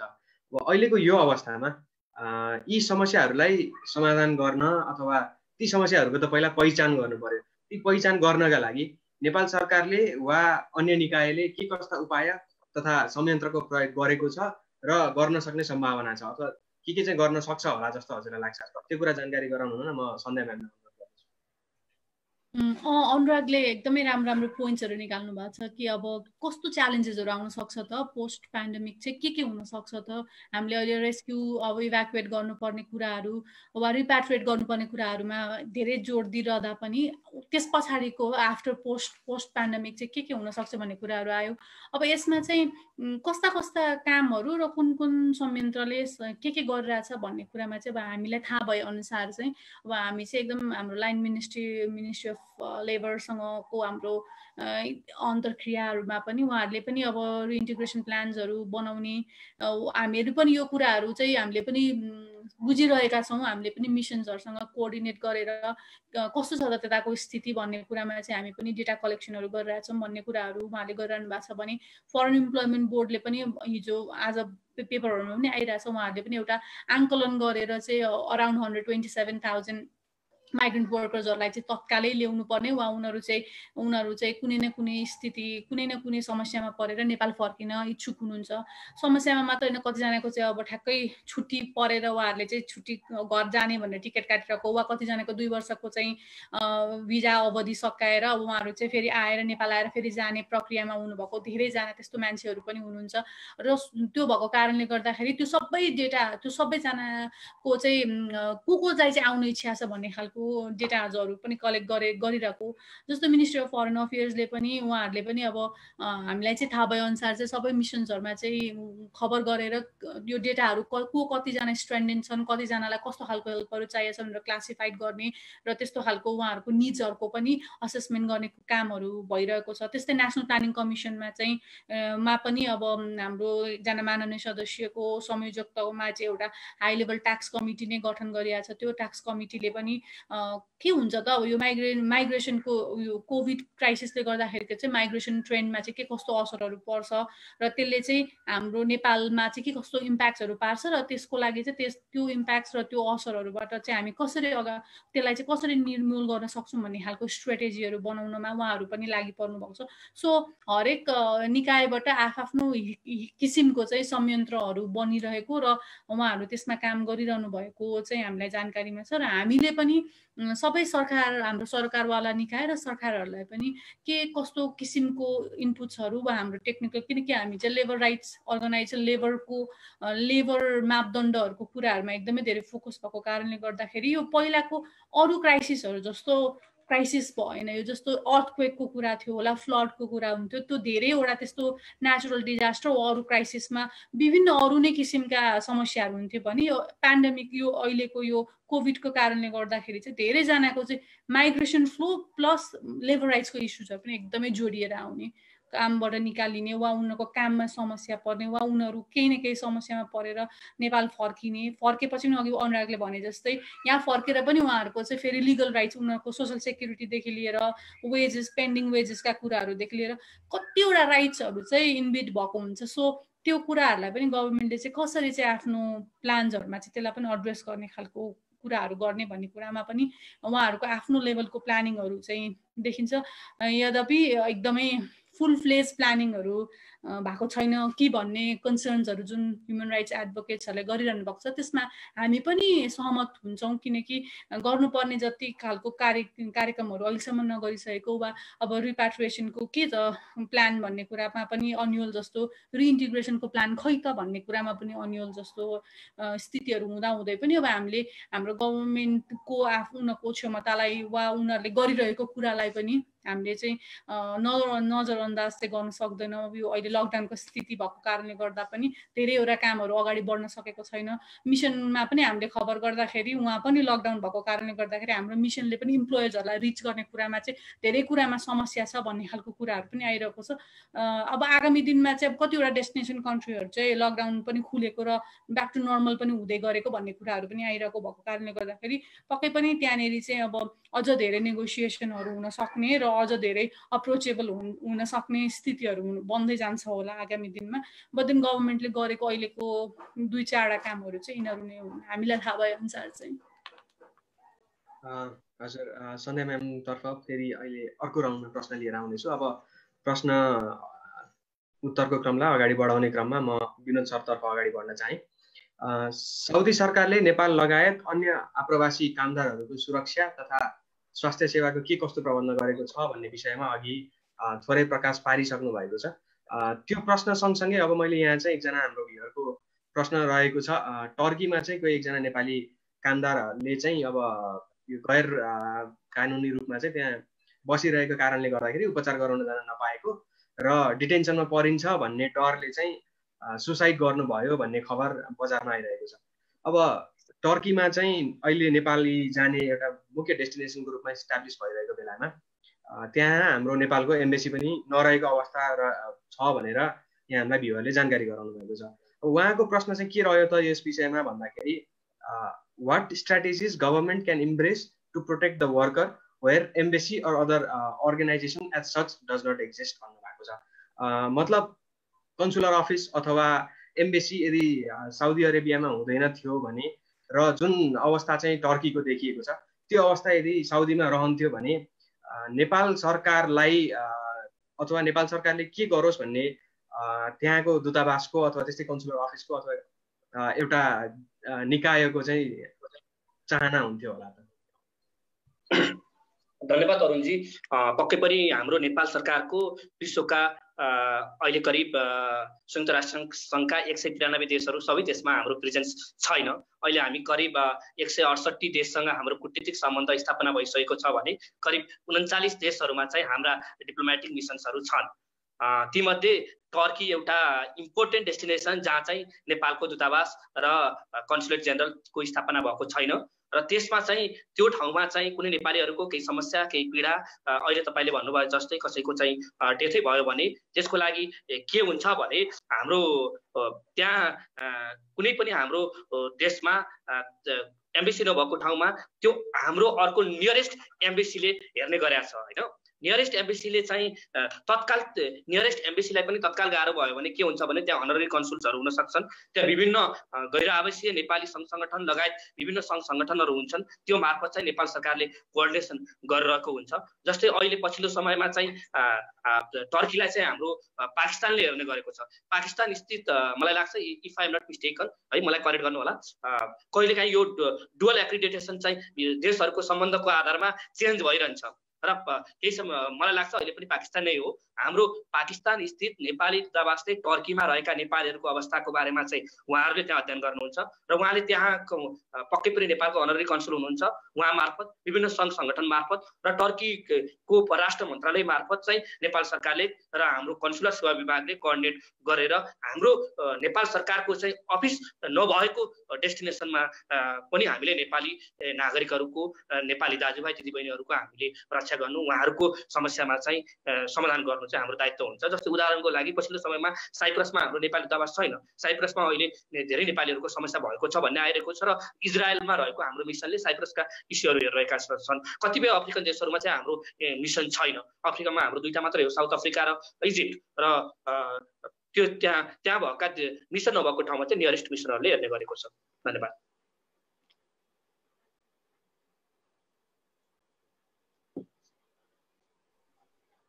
हजुर अब म फेरि प्रश्न उत्तरकै श्रृङ्खलालाई अगाडि बढाइरहँदा म प्रश्न लिएर अनुराग सरतर्फ अगाडि बढ्न चाहेँ।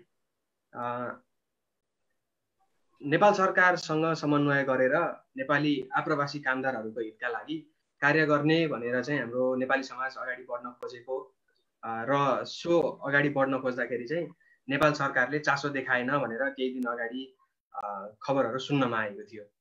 अब यस्तो अवस्थामा सरकार प्रभावकारी हुन नसक्दा नेपाली आप्रवासी कामदारहरूको अधिकार संरक्षण चाहिँ कसरी गर्न सकिएला त?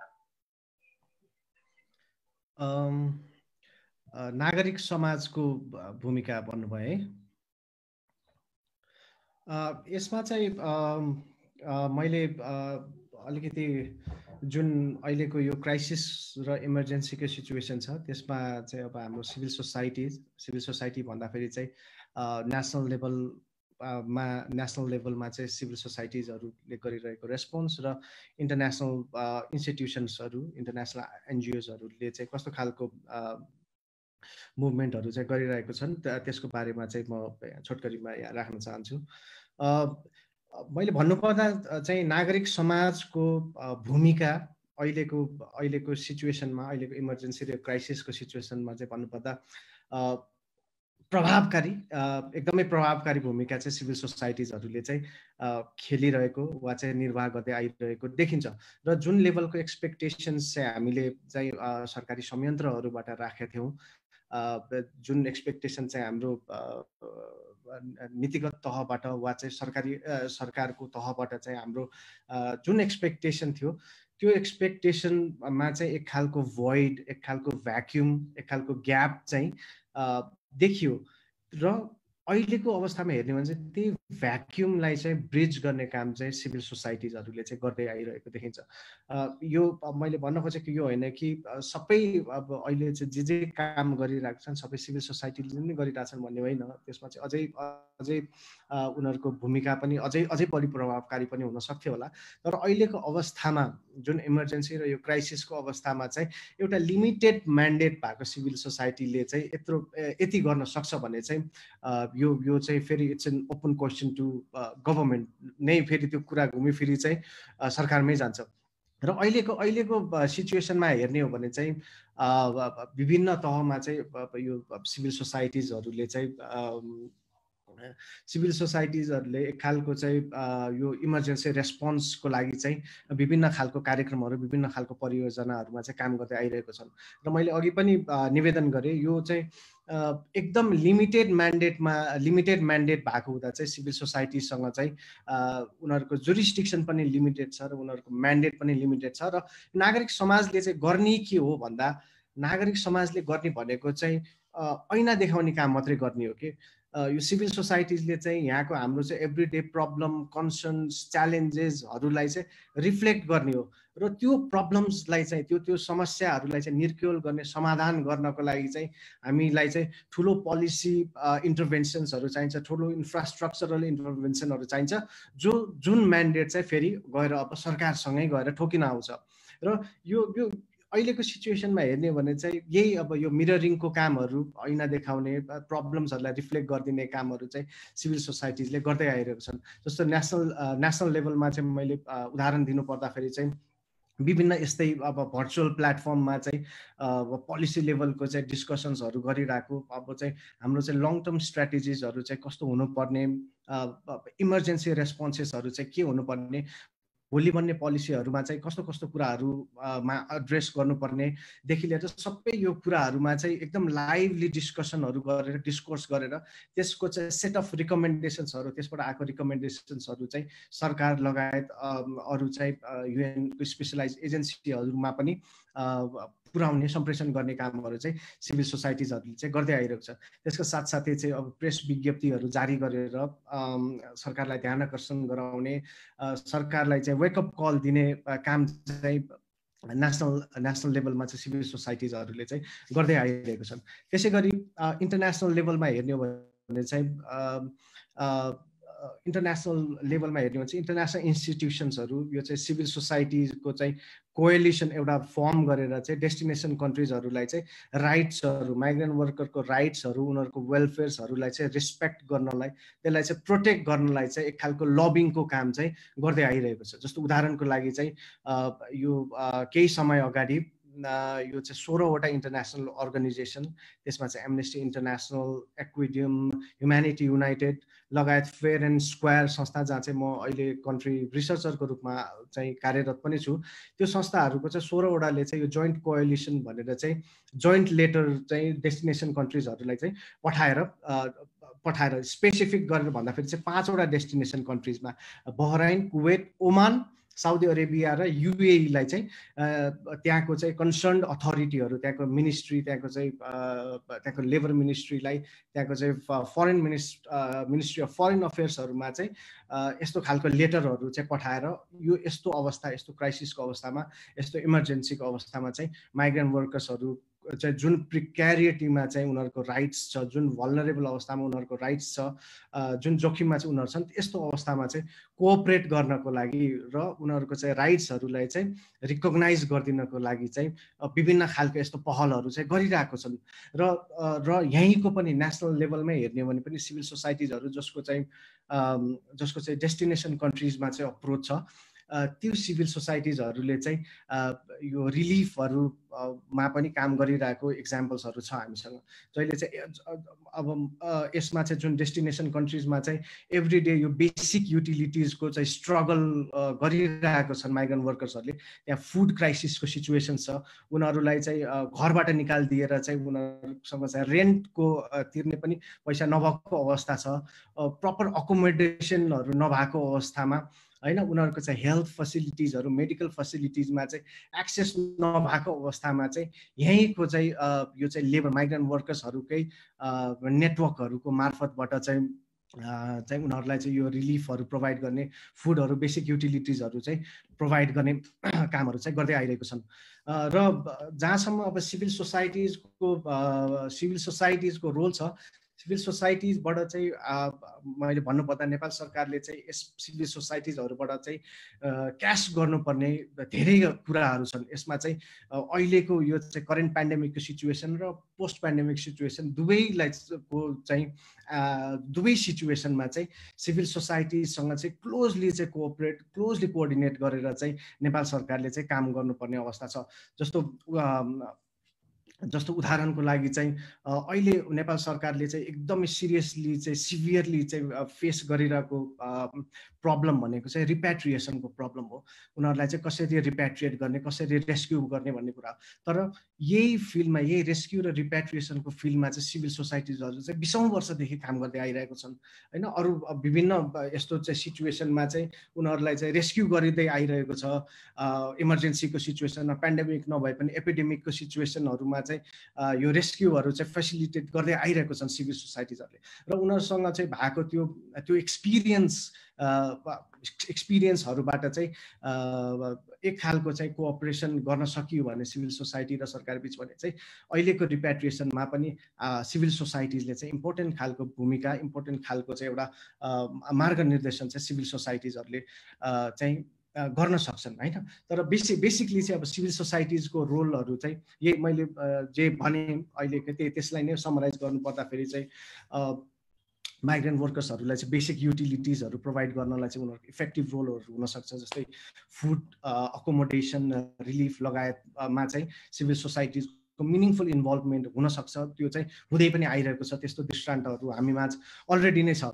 र त्यस्तै माइग्रेन्ट वर्कर्सहरूको नेटवर्कहरू एनआरआई एनआरएनएजहरूसँग चाहिँ को चाहिँ सपोर्टबाट चाहिँ जुन अहिले चाहिँ हाम्रो स्टेटस माइग्रेन्ट वर्करको स्टेटसहरू के कस्तो छ हेल्थ स्टेटस उनीहरूको त डेटा म्यानेजमेन्टमा चाहिँ जुन काम गरिरहेको छ सरकारले त्यसमा पनि यो दुइटा बिचको चाहिँ कोएलिसनबाट चाहिँ डेटा म्यानेजमेन्टमा पनि काम गर्न सकिने प्रोस्पेक्टहरू चाहिँ छ। त्यसै गरी चाहिँ रेस्क्यु र रिप्याट्रिएसनमा पनि एक खालको चाहिँ असिस्टेन्सहरू गर्न सकिने सकिने नै छ भने चाहिँ कन्ट्री अफ डेस्टिनेसन कन्ट्रिजमा चाहिँ जुन एभ्री डे चाहिँ labour rights violation human rights भायोलेसन्सको चाहिँ इस्युजहरू छ त्यसप्रति चाहिँ त्यसप्रति चाहिँ यस्तै इन्टरनेसनल अर्गनाइजेसन्सहरूबाट चाहिँ ध्यान आकर्षणहरू गराएर त्यसलाई चाहिँ त्यो राइट्सहरूलाई चाहिँ रेस्पेक्ट गरिदिनको लागि चाहिँ एक खालको प्रेसर दिने काम चाहिँ सिभिल सोसाइटीले गर्न सक्छ। र जहाँसम्म चाहिँ अहिलेको यो समस्याहरूलाई हेर्ने हो भने चाहिँ यसमा ठुलो यसमा चाहिँ ठुलो नीतिगत र संरचनात्मक सुधार को चाहिँ आवश्यकता देखिन्छ।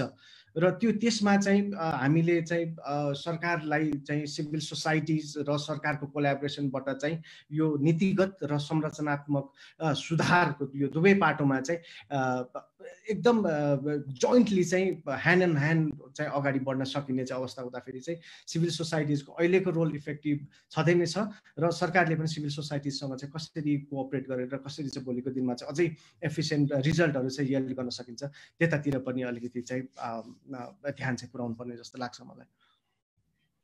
हामी कार्यक्रमको लगभग एक घन्टा हामीले पुरा गरिसकेका छौँ।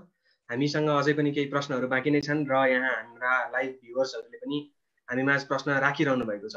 यी सबै कुराहरूलाई चाहिँ अब हामीले छोटो समयमा नै सकेसम्म समेटौँ भन्ने प्रयास गर्नका लागि हजुरहरूको प्रश्नको उत्तर चाहिँ छोटो समयमा दिन दिने प्रयास गर्नुहोला भन्ने अनुरोध गर्दै म अब यहाँ सन्ध्या म्यामतर्फ आफ्नो प्रश्न अगाडि बढाउन चाहन्छु। भर्खरै पनि अनुराग सरले एनजिओ लगायतका नागरिक समाजहरूले चाहिँ गर्न सक्ने कार्यहरूका बारेमा जानकारी गराउनु भयो। अब यी नागरिक समाज बाहेक पनि हाम्रो नेपाल सरकारले चाहिँ आइएलओ जस्तो संस्थासँग अथवा अरू कुनै संस्थाहरूसँग आबद्ध भएर नीतिगत रूपमा चाहिँ के कस्तो प्रयासहरू गरिरहेका छन् त्यो बारेमा जानकारी गराउनु जस्तो अब अहिले हामीले चाहिँ अब मैले चाहिँ हाम्रै संस्थाले के गर्दैछौँ भन्ने कुरामा अलिकति भन्नु पर्दाखेरिमा चाहिँ हामी चाहिँ मिनिस्ट्री अफ लेबरसँग मिलेर चाहिँ अब जस्तो अहिले के भनिरहनु भएको छ भने जति पनि रिटर्न माइग्रेन्ट वर्करहरू हुनुहुन्छ वा जति पनि यहाँनिर चाहिँ जान इच्छुक हुनुभएको भिजा सिजा लागिसकेको तर पेन्डेमिकले गर्दाखेरि पनि उड्न नपाउनु भएको माइग्रेन्ट वर्करहरू उहाँहरूलाई चाहिँ प्राइम मिनिस्टर इम्प्लोइमेन्ट प्रोग्राममा चाहिँ एकदमै उहाँहरूलाई आबद्ध गराउने भन्ने सरकारको नीति छ। सो त्यो त्यो हिसाबमा चाहिँ हामीले चाहिँ प्राइम मिनिस्टर इम्प्लोइमेन्ट प्रोग्राममा चाहिँ सुरुका दिनदेखि नै आइएलओले चाहिँ आफ्नो टेक्निकल सपोर्ट्सहरू दिइरहेको र त्यो प्रोग्रामलाई चाहिँ अझ धेरै इफेक्टिभ कसरी बनाउन सकिन्छ अझ त्यसलाई चाहिँ त्यसलाई चाहिँ अब माइग्रेन्ट वर्कर्सहरूलाई पनि त्यसमा इनरोल गराउने हो भने त धेरै अहिले हाम्रो नेसनल वर्कर्सहरूलाई नै इनरोल गराउँदा पनि एउटा फेज अफ वर्क चाहिँ भइसकेको र त्यसमा धेरै किसिमका क्रिटिसिजम्सहरू पनि सरकारले भोग्नु परेको थियो प्राइम मिनिस्टर इम्प्लोइमेन्ट प्रोग्रामको दौरानमा।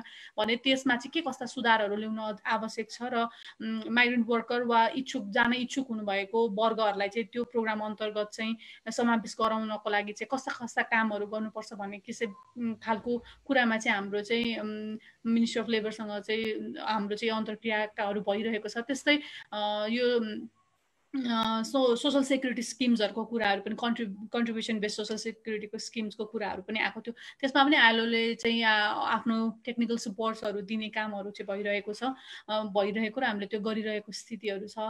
र हामीले चाहिँ आइलोमा के पनि गरेका छौँ भने अहिले सिरिज अफ इन्टरेक्सन प्रोग्राम जसरी अनुरागले भर्खरै भन्नुभयो कि हरेक हरेक इन्स्टिट्युसनको आफ्नो स्ट्रेन्थहरू हुन्छ जस्तो सिभिल सोसाइटी अर्गनाइजेसन एनएचआरआईहरूलाई कहाँ हामीले इङ्गेज गर्न सक्छौँ भन्ने कुराहरू जसरी उहाँले निकाल्नुभयो।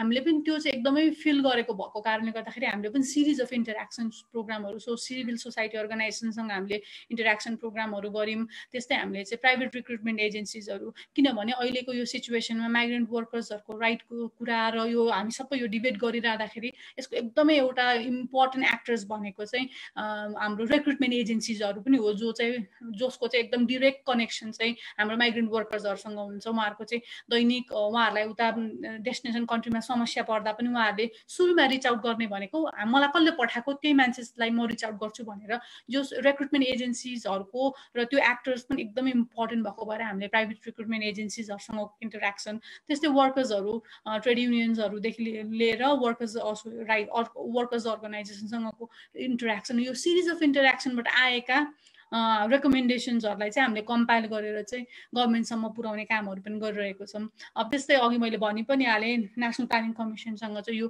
एउटा एउटा टास्क फोर्स बनेको छ र त्यसले चाहिँ यो एकदम अनुसन्धानको कामहरू गर्दैछ के हुनसक्छ त इम्प्याक्ट्सहरू भनेर। सो त्यो त्यसमा पनि हाम्रो टेक्निकल सपोर्ट हामीले त्यसमा पनि प्रोभाइड गरिरहेको छौँ। मोफासँग मिलेर हामी एक दुईवटा कामहरू गर्ने भनेर अहिले हाम्रो कुराहरू जारी छ र हामीले विशेष गरिकन कन्ट्री अफ डेस्टिनेसनमा मिसन सपोर्ट भनेर चाहिँ सर्टन देशहरूमा चाहिँ अघि अनुरागले भनिरहनु भएको थियो कि अब के प्रेडिक्ट गर्न सकिन्छ भने एकदमै धेरै फ्लो अफ मुद्दाहरूको लेबर राइट इस्युज भायोलेसन भएको कुराहरूको चाहिँ एकदमै धेरै चाहिँ फ्लो हुनसक्छ भन्ने भनेको हिसाबले हामीले पनि त्यो कुरालाई चाहिँ हामीले पनि अज्युम गरेर वा हामीले प्रेडिक्ट गरेर चाहिँ मिसनलाई पनि सपोर्ट चाहिन्छ। किनकि अहिलेको स्थितिमा चाहिँ यतिका धेरै कम्प्लेनहरू आउनु थाल्यो भने चाहिँ उहाँहरूको उहाँहरूलाई पनि त्यो डकुमेन्टेसनदेखि लिएर पेपर वर्कदेखि लिएर सबै कुरामा रिच पनि कतिवटा ठाउँमा चाहिँ मिसन चाहिँ अब क्यापिटलमा छ तर हाम्रो माइग्रेन्ट वर्करहरू चाहिँ त्यो देशभरिको धेरैवटा ठाउँमा चाहिँ स्क्याटर भएर काम गरिरहनु भएको छ। सो उहाँहरूको रिच चाहिँ कसरी हुन्छ त भन्ने कुरामा पनि हामीले चाहिँ भलिन्टियर्सहरू राखिदिएर वा त्यहाँको एनआरएनहरू वा सिभिल सोसाइटी अर्गनाइजेसन वा वा डायस्पोरा ग्रुपहरूलाई कसरी मोबिलाइज गर्न सकिन्छ भनेर हामी हामी चाहिँ धेरै चार पाँचवटा डेस्टिनेसन कन्ट्रिजको मिसनसँग पनि मिलेर त्यस्तो खालको उहाँहरूको रिच मिसनसँगको रिच र डकुमेन्टेसन्सहरूमा वा प्यारालिगल सपोर्टमा केस रिफरल्सहरूमा चाहिँ कसरी हामीले मद्दत गर्न सक्छौँ भनेर हामीले त्यो किसिमको एउटा होमवर्क पनि गरिरहेको स्थिति छ अहिले। धन्यवाद।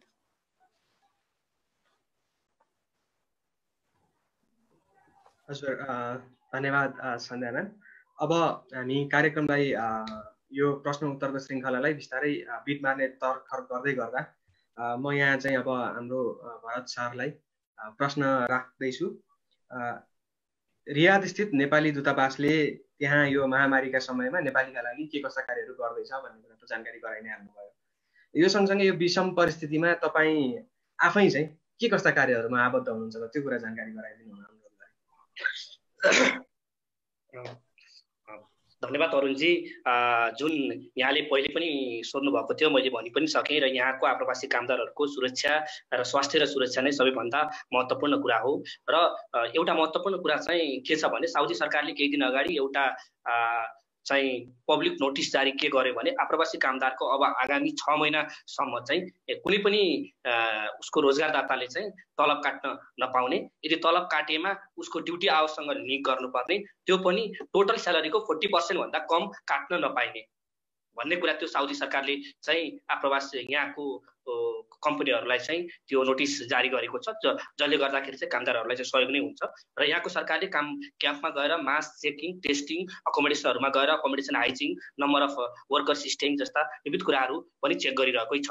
र अर्को एउटा कुरा के छ भने हाम्रो नेपालको परराष्ट्र मन्त्रीज्यूले पनि साउदी परराष्ट्र मन्त्री ज्यूसँग कुरा गरेर चाहिँ जसरी नेपाली कामदारको जसरी पनि नेपाली कामदारको उपचार स्वास्थ्य र सुरक्षामा चाहिँ कमी नहोस् भन्ने कुरामा चाहिँ डिप्लोमेटिक च्यानलबाट रिक्वेस्ट गर्नु गर्नुभएको छ र अर्को पनि डिप्लोमेटिक नोट्सहरू एक्सचेन्जहरू भइरहेछ। यहाँको सरकारलाई हाम्रो कामदारको इस्यु र कन्सर्नका इस्युहरू कन्सर्नको बारेमा। त्यसपछि अब सरकार भनेको चाहिँ अब यहाँ दूतावास भनेको चाहिँ के हो भने हामीले बुझ्नुपर्ने कुरा हामी अन्तर्राष्ट्रिय डिप्लोमेटिक ल अन्तर्गत रहेका हुन्छौँ। हस् हाम्रो नेपाल सरकारका निर्देशनमा चल्नुपर्ने हुन्छ। यहाँको हस् कन्ट्रीको निर्देशन अनुसार चल्नुपर्ने हुन्छ। त्यसमा हाम्रो केही रेस्ट्रिक्सन्सहरू हाम्रो केही हामीले पनि कतिपय अवस्थामा नियममा बस्नुपर्ने हुन्छ। जस्तै नेपालमा के छ भने कुनै एउटा जिल्ला छ जिल्लामा चाहिँ suppose for example Manang Mustang त्यहाँ चाहिँ करिब जनसङ्ख्या मलाई लाग्छ तिन चार लाखभन्दा बढी छैन। अब साउदी अरबमा तिन चार लाख नेपालीहरू छन् जुन चाहिँ हामीले दुई हजार पच्चिस सय किलोमिटर टाढा टाढा गएर सेवा दिनुपर्ने हुनसक्छ। त्यो त्यसमा चाहिँ अब के छ भने म कसरी इन्गेज भएको छु भनेपछि as a member of the embassy ambassador साहबको र सिनियर सरहरूको उहाँहरूको उहाँहरूको अन्डरमा रहेको रहेर उहाँहरूको इन्स्ट्रक्सन्सहरू फलो गर्दै होइन। अब त्यसमा चाहिँ विभिन्न कम्युनिकेसन भर्चुअल इन्गेजमेन्ट्सहरू जस्तै नेपाल सरकारलाई रिपोर्टिङहरू अपडेटिङ द वर्कर्स स्ट्याटस त्यसपछि यहाँको सरकारले अपडेट गरेका चाहिँ जानकारीहरू चाहिँ डेली हामीले त्यसमा त्यसलाई रेफरेन्स लिँदै त्यसपछि नेपाली माइग्रेन्ट वर्कर्सहरू कम्युनिटी अर्गनाइजेसन्सहरू एनआरएन लगायतका विभिन्न सङ्घ सङ्गठनहरूसँग चाहिँ हामी नजिकमा रहेर काम गरेका छौँ। र यसै गरी मैले दुई चारवटा कुराहरू के भन्न लागेँ भने हामीले गर्न हामीले के के गरेका छौँ एमबिसीले भन्ने कुरा चाहिँ एकदमै इम्पोर्टेन्ट हुन्छ। त्यसमा हामीले के छ भने हामीले इन्टरनल सर्वेहरू गरिरहेका छौँ। विभिन्न सङ्घ सङ्गठन मार्फत र डाइरेक्ट कम्पनीहरू मार्फत चाहिँ नेपालीहरूको रियल अवस्था के छ भन्ने कुरा हामी बुझिरहेका छौँ। र अर्को कुरा चाहिँ हामीले पहिला हामीसँग अलरेडी एउटा हटलाइन नम्बर मोबाइल थियो हटलाइन मोबाइल थियो धेरै एक दुई तिन वर्ष अगाडिदेखि। त्यसमा चाहिँ यो पेन्डेमिकको बेलामा हामीले दुईवटा एडिसनल चाहिँ मोबाइल नम्बरहरू थप जारी गरेका छौँ। र यसमा हामीले वाट्सएप इमेल र विभिन्न जुन कम्प्लेनहरू सुन्ने चाहिँ माध्यमहरू बढाएका छौँ र यही सन्दर्भमा हामीले एकजना नेपाली रियादमा रहनुभएका एकजना नेपाली डाक्टरलाई चाहिँ नेपाली अरू कोही आउनुभयो भने काउन्सिलिङ गरिदिनु होला उहाँहरूको प्रारम्भिक उपचार गरिदिनु होला भनेर चाहिँ हामीले करिब दुई हप्ता अगाडि भनेका छौँ र उहाँले अहिले त्यो काम गरिराख्नु पनि भएको छ र एमबिसीले जति सक्दो हामीले यो स्ट्रेस र अवस्थामा कसरी उहाँहरूलाई नेपाली कामदारहरूलाई काउन्सिलिङ गर्न सकिन्छ उहाँहरूका ग्रिभेन्सेसहरू सुन राम्रोसँग सुनिदियो भने नै त्यो उहाँहरूको प्रब्लम आधा हल हुन्छ भन्ने कुरामा हामीले राम्रोसँग फिल गरेर कसरी चाहिँ लेबर फ्रेन्डली इन्भाइरोमेन्ट हामीले क्रिएट गर्न सक्छौँ टेलिफोन मार्फतै भए पनि भन्ने कुरामा हामी सजग छौँ। र अर्को कुरा भनेको चाहिँ यसको लागि हामीले चाहिँ यहाँको पूर्वी क्षेत्र चाहिँ दमाम जहाँ चाहिँ करिब एक लाख नेपालीहरू हुनुहुन्छ रियादबाट चार सय किलोमिटर टाढा त्यहाँ चाहिँ हाम्रो एकजना नेपाली एमबिसीको स्टाफ नै हुनुहुन्छ त्यो क्षेत्रमा रहेका नेपालीहरूको लागि। र विभिन्न यहाँका कम्पनी कम्पनीका म्यानेजरहरूसँग र साउदीमा रहेका चाहिँ विभिन्न नेपालका रिक्रुटमेन्ट एजेन्सीहरू र नेपालका नेपालमै हुनुभएका विभिन्न चाहिँ म्यान पावर एजेन्सीहरूसँग यो विषम परिस्थितिमा तपाईँहरूले चाहिँ आफूले पठाउनुभएका कामदारलाई चाहिँ सहयोग गर्नुहोस्। उहाँहरूको चाहिँ खाना र बस्नको चाहिँ ग्यारेन्टी तपाईँहरू गर्नुहोस् भनेर हामीले रिक्वेस्ट गरिरहेका छौँ। यो कुरालाई उहाँहरूले एकदम पोजिटिभली सुनिराख्नु भएको छ। र अर्को कुरा यहाँको हामीले मिनिस्ट्री अफ हेल्थ र मिनिस्ट्री अफ फरेन अफेयर्स र विभिन्न सेक्युरिटी एजेन्सिजहरूसँग हामी क्लोजली काम क्लोजली गरिरहेका छौँ। म एउटा उदाहरण दिन्छु जस्तै यहाँभन्दा यहाँभन्दा पाँच सय छ सय किलोमिटर टाढा वर्करको एकोमोडेसन छ। त्यहाँ हामीलाई गएर अहिले गएर इन्टरभेन गर्न हामीलाई त्यति सहज हुँदैन। हामीले भनेको पर्पर र डिप्लोमेटिक च्यानलबाट नै जानुपर्ने हुन्छ। र त्यसमा अब मैले गरेको भनेको त्यही कम्पनी विभिन्न लेबरहरूसँग कुरा गर्ने उहाँहरूले भनेका कुराहरू चाहिँ रिपोर्ट गर्ने उहाँहरूको कलहरू रेस्पोन्ड गर्ने इमेलहरू रिसिभ गर्ने हाम्रो हस्बन्डसँग चाहिँ कुरा गर्ने यहाँको हस्बेन्डसँग कुरा गर्ने नेपाल सरकारका विभिन्न निकायहरूसँग कोअर्डिनेट गर्ने मोरलेस अहिले जबासमा रहेर मैले त्यही नै रोल र भूमिका खेलिरहेको छु। हजुर धन्यवाद भारत सर। हजुरको जुन व्याख्या रहेको थियो यहाँ चाहिँ हजुरको उत्तर सँगसँगै ने भ्युवरको पनि प्रश्न आइरहेको थियो सिमिलर उसमा। नेहा चौधरीजीले चाहिँ is the embassy taking worker grievances if yes what is the nature of these complaints भनेर प्रश्न राख्नु भएको थियो। सायद उहाँले त्यो प्रश्नको जवाफ प्राप्त गर्नु पनि भयो होला। र त्यसमा केही थप छ भने छोटो समयमा गरिदिनु न मैले भरत सरलाई फेरि अनुरोध मैले छोटो समयमा नेपाली कामदारहरूका अहिलेका नेचर अफ ग्रिभेन्सेसहरूलाई म केही दुई चारवटा बुदाहरूमा भन्छु। म जुन अघि अनुराग दाईले भन्नुभएको थियो यो नर्मल सिचुएसनमा त नेपाली कामदारहरूको पक्कै नै समस्या छन् त्यो हामी समस्या छैन भनेर चाहिँ भनेर हामी भन् समस्या छैन भनेर हामी समस्यालाई ढाक्न पनि चाहँदैनौँ। किनभने नर्मल नर्मल सिचुएसनमा पनि नेपाली कामदारहरूका समस्याहरू थिए र पोस्ट पेन्डेमिक सरी यो पेन्डेमिकको सिचुएसनमा पनि पक्कै पनि केही न केही समस्याहरू छन्। जस्तै अहिले मेन समस्या भनेको वर्करको उहाँहरूको हेल्थको इस्यु हो उहाँहरूको जब सेक्युरिटीको इस्यु हो। जब सेक्युरिटी उहाँहरूले जब लस गर्नुहुन्छ कि भन्ने उहाँहरूलाई ठुलो चिन्ता छ स्यालेरी कट हुन्छ कि भन्ने चिन्ता छ। त्यसमाथि खाना बस्न सेल्टर जस्तै अनि त्यसपछि अहिले के छ भने पछिल्लो समयमा एमबिसीमा चाहिँ सरी ने साउदी अरबमा करिब चालिसदेखि पचासको बिचमा चाहिँ नेपाली कामदारहरूको नर्मल अवस्थामा भएको डेथको चाहिँ उहाँहरूको डेड बडी छ। करिब तिन चार महिना यता रहेको।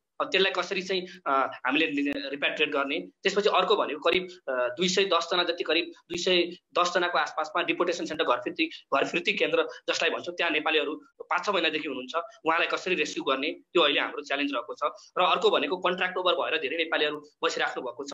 उहाँले तिन चार महिना अगाडिदेखि नै ल अब म बिदामा नेपाल जान्छु अथवा म रेजिग्नेसन दिन्छु भनेर उहाँको कन्ट्र्याक्ट उहाँको कम्पनीसँगको कन्ट्र्याक्ट सकिसकेको छ। उहाँहरू यहाँ स्ट्यान्डर्ड हुनुभएको छ। त्यसपछि केही कामदारहरू बिरामी हुनुहुन्छ। औषधि सेवन गर्दै हुनुहुन्छ। केही महिलाहरूका समस्याहरू छन् केही महिलाहरू प्रेग्नेन्ट पनि हुनुहुन्छ। दुई तिनजना महिलाहरूले फोन गर्नुभएको थियो सिक्स मन्थ सेभेन मन्थ्स अब म दुई तिन महिनामा जान पाइनँ भने यहाँको मेडिकल फेसिलिटी एकदमै महँगो छ डेलिभरीको लागि। अनि हामी के गर्ने भनेर इस्युहरू उठाइराख्नु भएको छ। त्यसमा चाहिँ कामदारहरूको चाहिँ अब फियर स्ट्रेस इन्सेक्युरिटी जस्ता विभिन्न समस्याहरू चाहिँ बढिरहेका छन्। केही कामदारहरूको अब स्यालेरी वर्किङ आवर घटाइसकेपछि स्यालेरी कम दिन थालिएको छ र कतिपय अवस्थामा चाहिँ कामदारलाई चाहिँ साइको सोसल काउन्सिलिङ स्ट्रेस बढिरहेको बेलामा चाहिँ यस्ता विविध समस्याहरू चाहिँ हामीले देखिरहेका छौँ। पछिल्लो समयमा। अनि कतिपय उहाँहरूको रिलेटिभ्स नेपालमा कसैको चाहिँ डेथ भएको छ उहाँहरूले अर्जेन्ट नेपाल जानुपर्ने हुनसक्छ। यो हामीले नेचुरल फ्लो करिब तिनदेखि साढे तिन लाख नेपाली भएको ठाउँमा चाहिँ अब दुई तिन महिना नै फ्लाइट बन्द हुनु भनेको चाहिँ यहाँ भएका नेपाली कामदारलाई चाहिँ पक्कै नै पीडा परे परेको छ। हजुर धन्यवाद भरत सर। अब हामीले चाहिँ यो सेसन अति नै इन्ट्रेस्टिङ हुँदै गएको र दर्शक दीर्घहरूबाट पनि सोही हिसाबको चाहिँ हामीसँगको जुन सम्बन्ध बढ्दैछ त्यो कुरालाई अझै इन्ट्रेस्टिङ बनाइरहनु भएको कारणले गर्दाखेरि यो कार्यक्रमलाई अलिकति एक्सटेन्ड गरेका छौँ। तर अब भने हामी यो सेसनलाई चाहिँ समअप गर्नतर्फ लाग्दैछौँ र सो क्रममा म अन्तिम प्रश्नको श्रृङ्खला चाहिँ अनुराग सरबाट सुरु गर्न चाहन्छु। अनुराग सरलाई मैले राख्ने प्रश्न चाहिँ के हो त भन्दा हामी तपाईँ एउटा कानुनको अध्यताका हिसाबमा यो परिस्थितिमा नेपाली आप्रवासी कामदारहरूको हक अधिकार संरक्षणका निमित्त आफ्नो क्षेत्रबाट के कस्ता कदमहरू चाल्न सकिन्छ? अनि अब हामीले लिने बाटो चाहिँ के त? त्यसका बारेमा छोटो समयमा आफ्नो कुराहरू राखिदिनु हुन अनुरोध गर्दछु। धन्यवाद अरुणजी।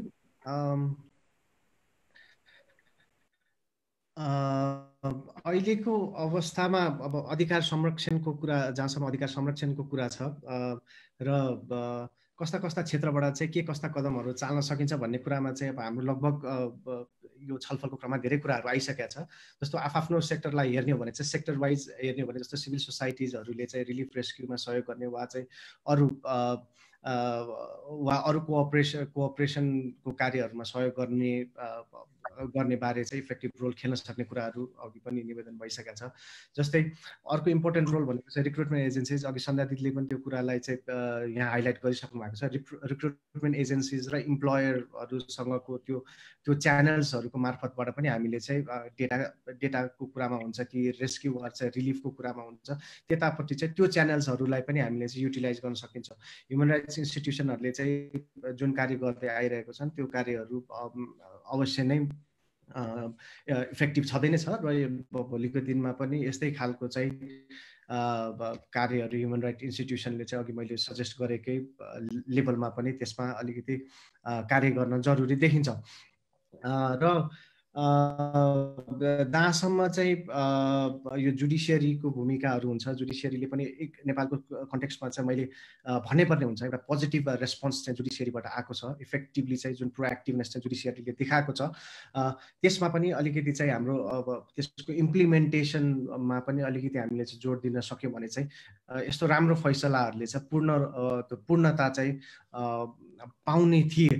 त्यही भएर त्यतातिर पनि अलिकति हाम्रो ध्यान आकर्षण चाहिँ हुन जरुरी छ। र धेरै कुरा चाहिँ यहाँ चाहिँ राज्य यो चाहिँ माइग्रेसन भनेको तपाईँको ट्रान्सनेसनल इस्युहरू हुने हुँदाखेरि चाहिँ हामीले चाहिँ यहाँ धेरै कुरा चाहिँ अब civil societies human right institution वा चाहिँ जुडिसियरीको जुडिसियरीको हुने भन्दा पनि यसमा चाहिँ धेरै रोल चाहिँ सरकारको नै हुने हुँदाखेरि अलिक डिप्लोमेटिक च्यानल्सबाट चाहिँ हामीले चाहिँ कसरी इमिडिएट रेस्पोन्सहरूमा चाहिँ काम गर्न सक्छौँ? त्यतातिर चाहिँ अलिकति हामीले जोड दिन जोड दिन आवश्यक छ। र जहाँसम्म हकितको लागि चाहिँ भोलिको दिनमा चाहिँ कस्तो खालको नीतिगत वा चाहिँ संरचनात्मक रूपमा चाहिँ कार्यविधिहरू चाहिँ हामीले अवलम्बन गर्नुपर्ने भन्ने प्रश्नहरू छ।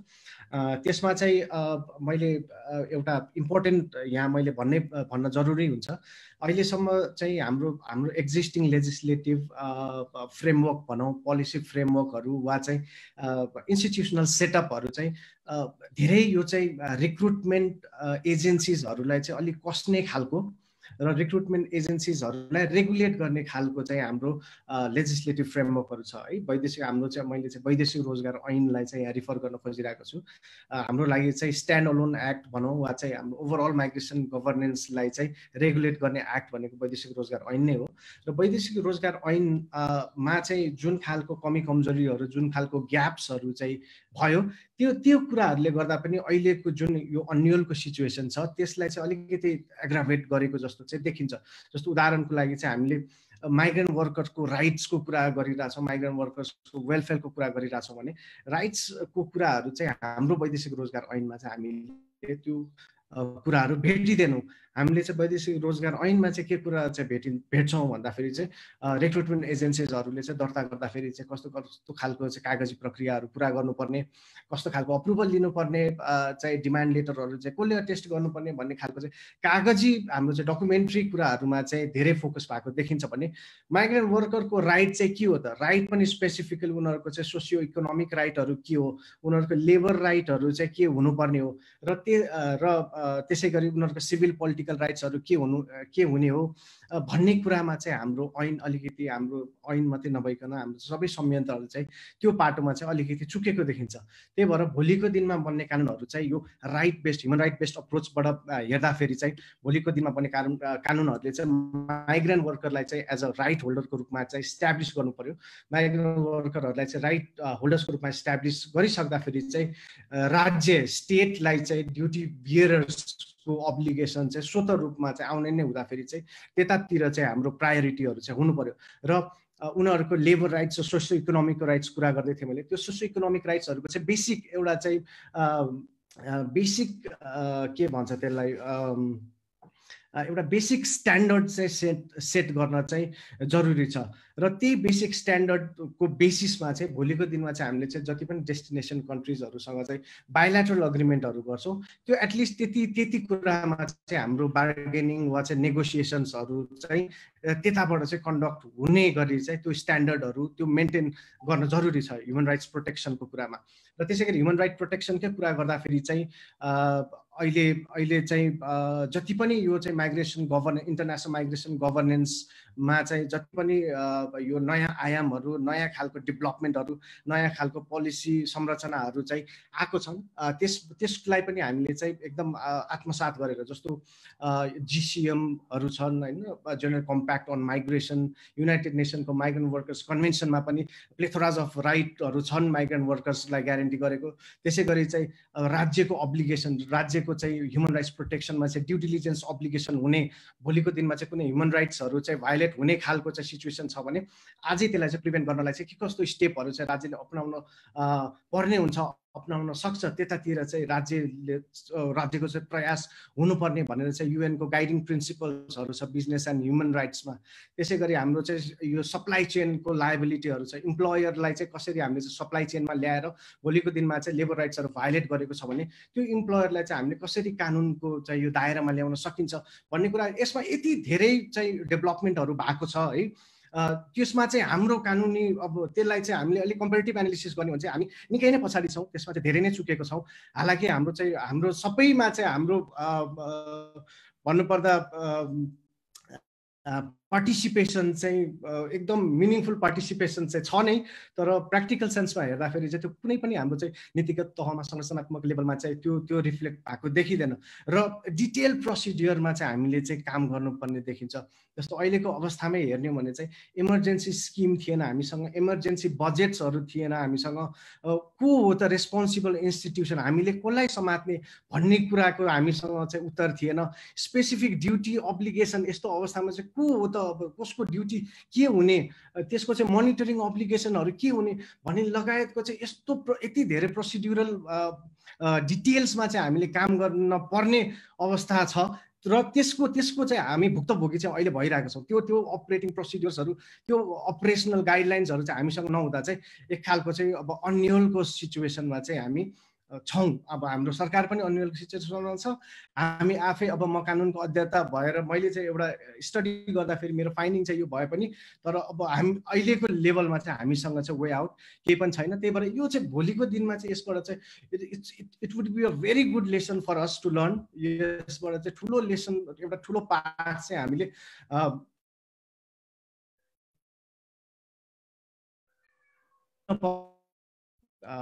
जस्तो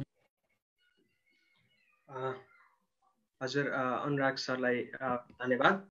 अब हामी कार्यक्रमलाई बिट मार्नै मार्नै लागिसक्दाखेरि आफ्नो एउटा क्लोजिङ स्टेटमेन्टको रूपमा एकदमै छोटो एकै मिनटमा रहने गरी सन्ध्या म्यामलाई अबको बाटो के त भन्ने कुरामा क्लोजिङ स्टेटमेन्ट दिनु हुन अनुरोध गर्दछु। धन्यवाद। अनुरागले अहिले भर्खर एकदमै होलिस्टिक पिक्चर्सहरू भनिहाल्यो होइन। के गर्नुपर्ने भन्ने कुरामा। म चाहिँ कोभिड क्राइसिसलाई नै मध्यनजर गरेर के हुनसक्छ त अबको बाटो भन्ने कुरामा अलिकति राख्न चाहन्छु। सो दुई तिनवटा कुरामा हामीले चाहिँ एकदमै धेरै फोकस गर्नुपर्ने हुन्छ। कन्ट्री अफ डेस्टिनेसनमा हुँदाखेरि चाहिँ के के कुराहरू ध्यान दिनुपर्ने भन्ने कुरामा चाहिँ अब हामीले चाहिँ safety and wellbeings of migrant workers चाहिँ एकदमै इन्स्योर हुनु पऱ्यो त्यो कुरामा चाहिँ एकदमै धेरै ध्यान दिएको हुनु पऱ्यो र उनीहरूको चाहिँ ग्रिभियन्सेसहरूको चाहिँ प्रपर डकुमेन्टेसन्सहरू चाहिँ भएको कुराहरू चाहिँ हुनु पऱ्यो र उनीहरूको चाहिँ अब जस्तो जब सेक्युरिटीदेखि लिएर हेल्थ फेसिलिटीमा नन डिस्क्रिमिनेसनका कुरादेखि लिएर वेस्ट प्रोटेक्सनका कुराहरूदेखि लिएर हो त्यस्तो कुराहरू चाहिँ सबै प्रोटेक्टेड र त्यहाँ केही ग्रिभेन्सेस छ भने चाहिँ त्यो ग्रिभेन्सेस ह्यान्डलिङ मेकानिजमको चाहिँ सेटअप र उनीहरूको त्यो कुराहरू चाहिँ रजिस्टर हुनुपर्ने खालको कुराहरू हुन्छ भने उनीहरूको रिटर्नमा चाहिँ के के हामीले? के के चाहिँ एकदमै ध्यान राख्नुपर्ने कुरा हुनसक्छ भन्दाखेरिमा?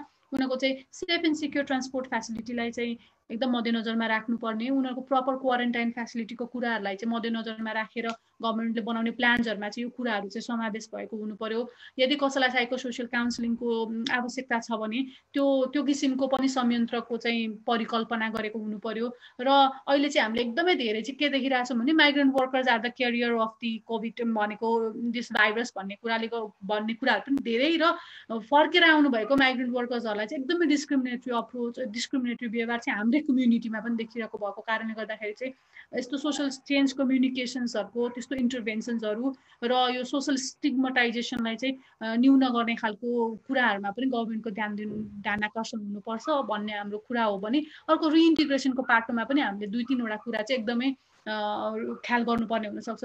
त्यसमा चाहिँ पहिलो कुरो चाहिँ रिटर्न माइग्रेन्ट वर्कर्सहरूको चाहिँ रजिस्ट्रेसन वा उनीहरूको डेटा सङ्कलन गर्ने कुरा भनि नै रहेछ गभर्मेन्टले भने।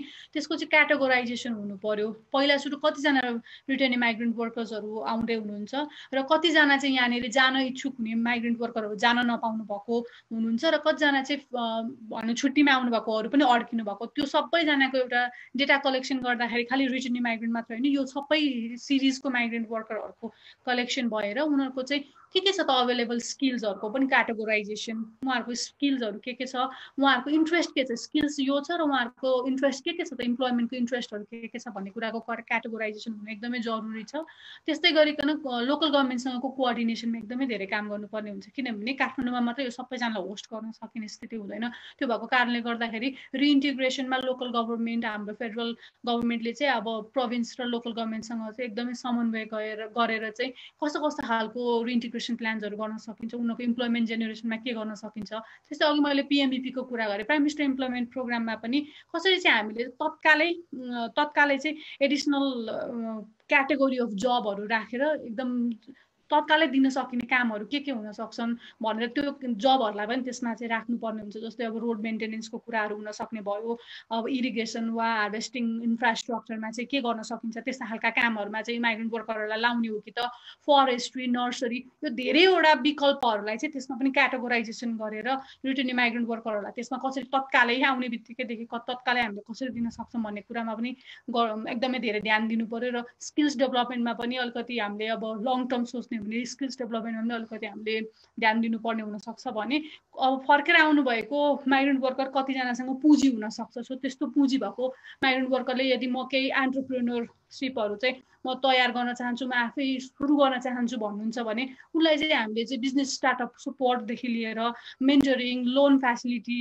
मार्केटिङका कुराहरू यस्ता यस्ता कुरामा पनि हामीले अलिकति रिइन्टिग्रेसन प्लानमै यी कुराहरू पनि आउनु चाहिँ एकदमै जरुरी छ र यदि कोही चाहिँ स्किल्स भएकै मान्छे आउनुहुन्छ आ फिर्केर आउनुभएको छ भने उसलाई चाहिँ उसको चाहिँ प्रायर लर्निङ सर्टिफिकेट अक्वायर गर्नलाई गभर्मेन्टले हेल्प गर्नु पऱ्यो त्यस्तै अब उनीहरूलाई चाहिँ के अरे जब पोर्टल्सहरूमा चाहिँ रजिस्ट्रेट रजिस्टर गराएर नयाँ नयाँ जबहरूको मार्केटमा चाहिँ कसरी आफूलाई चाहिँ प्रस्तुत गराउने हो त्यस्ता खालका काममा पनि एकदमै इन्करेज र अब एकदमै धेरै चाहिँ हामीले चाहिँ लोकल एग्रो बिजनेस डेरीहरू यिनीहरूलाई चाहिँ हाम्रो सेल्फ सफिसियन्ट हाम्रै प्रडक्टहरूलाई चाहिँ फर्स्ट प्रायोरिटी दिने र यिनीहरूले आफ्नै प्रडक्टहरूलाई चाहिँ मार्केटिङ गर्ने गर्ने कुराहरू र हाम्रो लोकल प्रडक्टहरू युज गर्ने कन्स्ट्रक्सनमा पनि हाम्रो लोकल इन्डस्ट्रीबाट उत्पादन भएका सामानहरू युज गर्ने हो कि त? अनि कतिवटा कुराहरूमा चाहिँ हाम्रो नेसनल प्रोजेक्ट्सहरूलाई चाहिँ त्यो प्रोसेसलाई एक्सपराइट गर्न माइग्रेन्ट वर्करहरूलाई त्यो काममा लगाएर चाहिँ कामहरू छिटो छिटो गराउनलाई धेरैभन्दा धेरै मान्छेहरूलाई चाहिँ काम दिने हो कि त? हो यस्तो यस्तो कुराहरूमा चाहिँ हामीले एकदमै ध्यान दिनुपर्ने र विशेष गरी तिनटै कुरा रिटर्न रिपाट्रिएसन र रिइन्टिग्रेसनलाई चाहिँ सँगसँगै प्लानिङ गर्दाखेरि यो तिनटै कुरालाई चाहिँ खालि रिटर्नलाई मात्रै ध्यान दिएर अरू दुइटालाई नदिने खालको होइन कि यो तिनटै कुरालाई रिटर्न गरेर रिटर्न रिप्याटेसन र रिइन्टिग्रेसनको प्लान्सहरू चाहिँ एकदम स्ट्रङली लिएर आएर त्यो त्यही अनुसारको इम्प्लिमेन्टेसन चाहिँ गर्नुपर्ने अवस्था हो जस्तो लाग्छ मलाई अबको दिनमा। भारत सर अबको एक मिनटमा। अबको बाटो के त? ओके फाइन धेरै कुराहरू आइसकेको छ। प्रिभियस वक्ताहरूले भन्नुभएका वे फरवार्डका कुराहरूमा सहमत हुँदै केही कुराहरू म राख्न चाहन्छु एक दुई मिनटमा। अब मेन कुराहरू के के हो भने अब सरकारले चाहिँ प्रायोरिटाइज गर्नै पर्यो। P one P two P three गरेर चाहिँ long term short term medium term हाम्रो चाहिँ स्ट्राटेजीहरू बनाउनु पर्यो। त्यो अनुसार चाहिँ के गर्ने भने एउटा कुरा नेपाली डिस्कोर्समा चाहिँ what if the migrants return in influx mass रूपमा चाहिँ खाडीमा भएका नेपाली कामदारहरू नेपाल फर्के भने उनीहरूको इन्टिग्रेसन कसरी गर्ने भन्ने कुरा नेपाली नेपालमा यो डिस्कोर्स नयाँ होइन। किनभने धेरै पटक यो कुराहरू उठिसकेको छ र यो पेन्डेमिकले एउटा त्यो लेसन पनि दिएको छ। र यो हाम्रो लागि एउटा अपर्च्युनिटी पनि हो। यो अपर्च्युनिटीबाट हामीले सिक्दै अब ने खाडीमा आएका नेपाली कामदारहरूले नेपाल सरकारबाट धेरै केही मागेका छैनन्। धेरै एक्सपेक्ट उहाँहरूको अहिलेको समयमा चाहिँ सरकारप्रतिको एक्सपेक्टेसन बढेको छ र विभिन्न निकायहरूप्रतिको नेपाली कामदारहरूको अहिलेको एक्सपेक्टेसन भनेको चाहिँ कसरी सेफ्टी ब्याक जान सकिन्छ परिवारसँग कसरी बस्न सकिन्छ र लङ टर्म रूपमा कसरी चाहिँ सोसाइटीमा इन्टिग्रेट भएर अब कसरी नै कसरी नेपालमा नै उहाँहरूको आफ्नो जीविका चलाउन सकिन्छ भन्ने कुरामा चाहिँ नेपाली कामदारहरू अहिले चिन्तित हुनुहुन्छ। यस्तो यसको लागि चाहिँ जस्तै अब साउदी अरबले एउटा खालि उदाहरण मात्र दिए होटल्सहरूलाई क्वारेन्टाइनको रूपमा डेभलप गरेको छ। अब नेपालमा पनि धेरै होटलहरू छन्। रिटर्नीहरूलाई केही समयको लागि होटलमा राख्न सकिन्छ। जस्तै श्रमिकहरूका विभिन्न कोर्सहरू छ नेपालमा। अरबौँ रकम जम्मा भएको छ। त्यो रकमहरू युटिलाइज गर्न सक्छौँ। केही इनोभेटिभ रियालिस्टिक प्र्याक्टिकल सोल्युसन्सहरू ल्याएर उनीहरूलाई चाहिँ माइग्रेन्टहरू चाहिँ आज उनीहरू कोरोना मात्रै ल्याउँछन् है भन्ने होइन? हिजो उनीहरूको रेमिटेन्सले नेपाल चलिरहेको थियो भन्ने कुरामा हामीले पोजिटिभ तरिकाले त्यसरी पनि सोच्नुपर्ने अवस्था आइसकेको छ। अब नेपाल सरकारकोबाट हामीले गर्नुपर्ने कुराहरू चाहिँ एम्बेसी लेभल फ्रेन्डली हुने कुराहरू जस्तै ग्रिभेन्सेस ह्यान्डलिङका कुराहरूदेखि लिएर मिनिङफुल एक्टिभ डिप्लोमेटिक इन्गेजमेन्टका कुराहरू हामीले गरि नै रहेका छौँ र यो फर्दर यसको enhancement there is always room for improvement होइन? अब यसमा रिपेट्रिएसनको लागि चाहिँ यो मस्ट हो। हामीले प्रायोरिटीको आधारमा गर्नै पर्छ। नेसनल फ्लोलाई हामीले रोक्न सक्दैनौँ। तिन चार महिना कामदारहरू दुई महिना तिन महिनाको चाहिँ सेल्फ आइसोलेसनमा घरमा लकडाउन भयो सरी यहाँ साउदीमा लकडाउन भएर खाडीमा लकडाउन भएर बसिरहेका छन् र उनीहरू सरकारप्रतिको झन् ग्रिभेन्सेस बढ्छ। विभिन्न देशहरूले चाहिँ रिपेट्रेसन फ्लाइटहरू गरि पनि सकेका छन्। इन्डिया हेज अलरेडी स्टार्टेड हाम्रा अरू देशहरूले पनि हाम्रा छिमेकीहरूले पनि स्टार्ट गरि गरिसकेका छन्। हाम्रो लागि अब लेट भइसकेको छ सुड स्टार्टेड अर्को कुरा चाहिँ हामीले अब त्यो हुँदाहुँदै अब लङ टर्ममा उहाँहरूलाई कसरी इन्टिग्रेट गर्ने र त्यो भयो। अनि त्यसमा चाहिँ जस्तै मिसन्सहरूमा यस्ता खालका चाहिँ समस्याहरू ह्यान्डल गर्नको लागि चाहिँ सेल्टरहरू सेफ हाउसेसहरूको पनि आवश्यकता छ। जस्तै एउटा मात्र उदाहरण दिएँ। हामी कहाँ चाहिँ अहिले दिनौँ दुई तिनजना तिन चारजना पाँच सातजनाको एम्बेसीको गेटमा आएर I have lost my job everything please give me shelter and food भनेर आउनुहुन्छ। उहाँहरूलाई एम्बेसीको ढोका खोलेर वेलकम गर्नु बाहेक अरू कुनै पनि विकल्प छैन हामीसँग। Already there are seven ladies हामीले एम्बेसीको सेल्टर एम्बेसी भित्रको कम्पाउन्डभित्र एउटा सानो ट अस्थायी टहरा निर्माण गरेर उहाँहरूलाई राखिरहेका छौँ। बिरामी कामदारहरूलाई एम्बेसीको एउटा सेल्टरभित्र राखिरहेका छौँ। मिसनहरूका विभिन्न स्रोत साधन मेटेरियल फाइनेन्सियल ह्युमन यस्ता विभिन्न कन्सटेन्टका बावजुद पनि हामीहरूले काम गरिरहेका छौँ। यस्ता विषयहरू धेरै धेरै चाहिँ सफलताका उदाहरणहरू पनि छन्। अब हाम्रो चाहिँ केही साना इस्युजहरू आयो भने त्यसलाई चाहिँ हामी नेगेटिभ गरेर पुरै मिसनले कसैले काम पनि गर्दैन कसैले फोन पनि उठाउँदैन कसैले लेबर फ्रेन्डली पनि छैन भन्ने कुरा हुन्छ। सानो उदाहरणलाई हामी पोजिटिभ रूपमा पनि ल्याउँ होइन त्यही इम्प्रुभमेन्टका there are always room room for improvement र सबै सकारात्मक कुरा पनि होइन। त्यही नेगेटिभ कुराहरूलाई पनि अब हामीले त्यसलाई मिनिमाइज गर्दै समस्याहरूलाई चाहिँ हल गर्दै अब पोजिटिभ स्टेपतिर नै अब हामीले अगाडि फुल फ्लेज रूपमा चाहिँ अब चाहिँ प्लानिङ प्रिपेयर भएर चाहिँ अगाडि बढ्नु बाहेक अरू कुनै पनि विकल्प छैन। अब नेपाल सरकारका विभिन्न कोअर्डिनेसन एजेन्सिजहरू बिच अब हामीले रिपेट्रिएट गर्नुपर्छ there is no second option to it र उहाँहरूलाई अब रिपेट्रिएट मात्र होइन कसरी सेफली उहाँहरूको ठाउँमा पुर्याएर र लङ टर्ममा कसरी उहाँहरूलाई नेपालमै रोजगारी दिन सकिन्छ that is the first priority first option र सेकेन्ड अप्सन चाहिँ के भने अब हामीले प्र्याक्टिकल रियालिस्टिक हुँदाखेरि चाहिँ तत्काल चाहिँ सबै नेपालमा हामीले चाहिँ रोजगारी दिन सक्ने अवस्था पनि छैन। अब पोस्ट पेन्डेमिक वर्ल्डमा नेपाली कामदारहरूलाई चाहिँ हामीले खाडी र अन्य देश पठाउने हो भने उहाँहरूलाई एटलिस्ट ट्रेनिङ दिएर प्रि ओरिएन्टेसन दिएर ल्याङ्ग्वेज सिकाएर बेसिक स्किल्सहरू दिएर अब अनस्किल्ड वर्करहरूलाई चाहिँ कम गर्दै हामीले सेमी स्किल्ड र स्किल्ड लेबरको रूपमा चाहिँ हामीले जानुपर्छ र नेपालको इमेजहरू चाहिँ अगाडि बढाउनु पर्छ नेपाली कामदार नेपाल चाहिँ कामदार पठाउने मात्रै देश होइन है। स्किल्ड र सेमी स्किल्ड लेबर पठाउने पनि देश हो भन्दै हामीले विभिन्न तरिकाबाट पोजिटिभ भाइब्सहरू डेभलप गरेर सकारात्मक उदाहरणहरूलाई अगाडि बढाउँदै केही भएका कमी कमजोरीहरूलाई त्यसलाई कसरी इम्प्रुभ गर्न सकिन्छ भन्दै डिफ्रेन्ट स्टेक होल्डर्स जस्तै आइएलओ एनएचआरसी सिभिल सोसाइटी गभर्मेन्टका डिफ्रेन्ट एजेन्सिजहरू जस्तै हामीले यहाँ एक्टिभली अहिले सिभिल सोसाइटी सरी यहाँ भएका चाहिँ एनआरएन लगायत विभिन्न सङ्घ सङ्गठनहरूसँग हामीले एक्टिभली काम गरिरहेका छौँ। जुम मार्फत विभिन्न भिडियो कन्फरेन्सेसहरू हामीले गरिरहेका छौँ विभिन्न निकायहरूसँग। अब विभिन्न निकायहरू सरकारको सरकारले एक्लै पनि गर्न सक्दैन किनभने विभिन्न स्रोत साधन सम्पन्न देशहरूले पनि अहिले मास रेस्क्यु र इभ्याकुएसन गर्न सकेका छैनन्। त्यो उदाहरण हाम्रो सामुन्ने पनि छन्। तर यति हुँदा हुँदै पनि हामीसँग स्रोत छैन साधन छैन ऋण ट्रेड गर्छौँ कोरोना ल्याउँछन् भन्दै विभिन्न वाहनामा कामदारलाई खाडीमा रोकेर राख्ने अवस्था छैन। ढिलो ढिलो चाँडो हामीले गर्नु नै पर्छ। ढिलो सम् हुँदै हुँदैन। जति सक्दो with a weeks within within a month we have to repatriate them back to home reintegrate them and so that they can stay peacefully with their family thank you धन्यवाद भरत सर। हामीलाई कार्यक्रम अवधिभर साथ दिएर फेसबुकको लाइभ मार्फत मेरो अड्डाको page मार्फत live हेरिरहनुभएका सम्पूर्ण सम्पूर्ण दर्शकवृन्दहरूलाई धेरै धेरै धन्यवाद ज्ञापन गर्दै हामी अब यो कार्यक्रमको पिट मार्नतर्फ लाग्दैछौँ। कार्यक्रममा आज वक्ताको रूपमा उपस्थित भइदिनु भएकोमा आइएलओ कन्ट्री अफिस नेपालका national project coordinator Sandhya Sitaula म्यामलाई धेरै धेरै धन्यवाद दिन चाहन्छु। त्यसै गरी त्यसै गरी नेपाल सरकार परराष्ट्र मन्त्रालयमा शाखा अधिकृतका रूपमा कार्यक्रम र हाल रियाद स्थित नेपाली दूतावासमा द्वितीय सचिवको रूपमा कार्यरत भरत खनाल सरलाई पनि आफ्नो अमूल्य समय हाम्रो यस कार्यक्रमका लागि दिनुभएकोमा हार्दिक हार्दिक धन्यवाद ज्ञापन गर्दछु। अन्तिममा हाम्रो ह्युमन राइट्स लयर अनुराग देवकोटाजी जो ल्याप्सोजमा कार्यरत हुनुहुन्छ उहाँले पनि आफ्नो अमूल्य विचारहरू राखिदिनु भएको र एकदमै एकदमै महत्त्वपूर्ण समय दिनुभएकोमा उहाँलाई पनि हार्दिक हार्दिक धन्यवाद ज्ञापन गर्न चाहन्छु। अब हामी छिटै नै फेरि अर्को ल कुरा गरौँको अर्को श्रृङ्खला लिएर आउनेछौँ जसलाई प्रायोजित गरेको छ मेरो अड्डा र लेक्स युरिस्टले ल कुरा गरौँको आजको आठौँ श्रृङ्खला यहीँ समाप्त हुन्छ। फेरि पनि सम्पूर्णलाई धन्यवाद ज्ञापन गर्दै म प्रस्तुत अरुण सत्याल यहाँहरूबाट बिदा हुन चाहन्छु।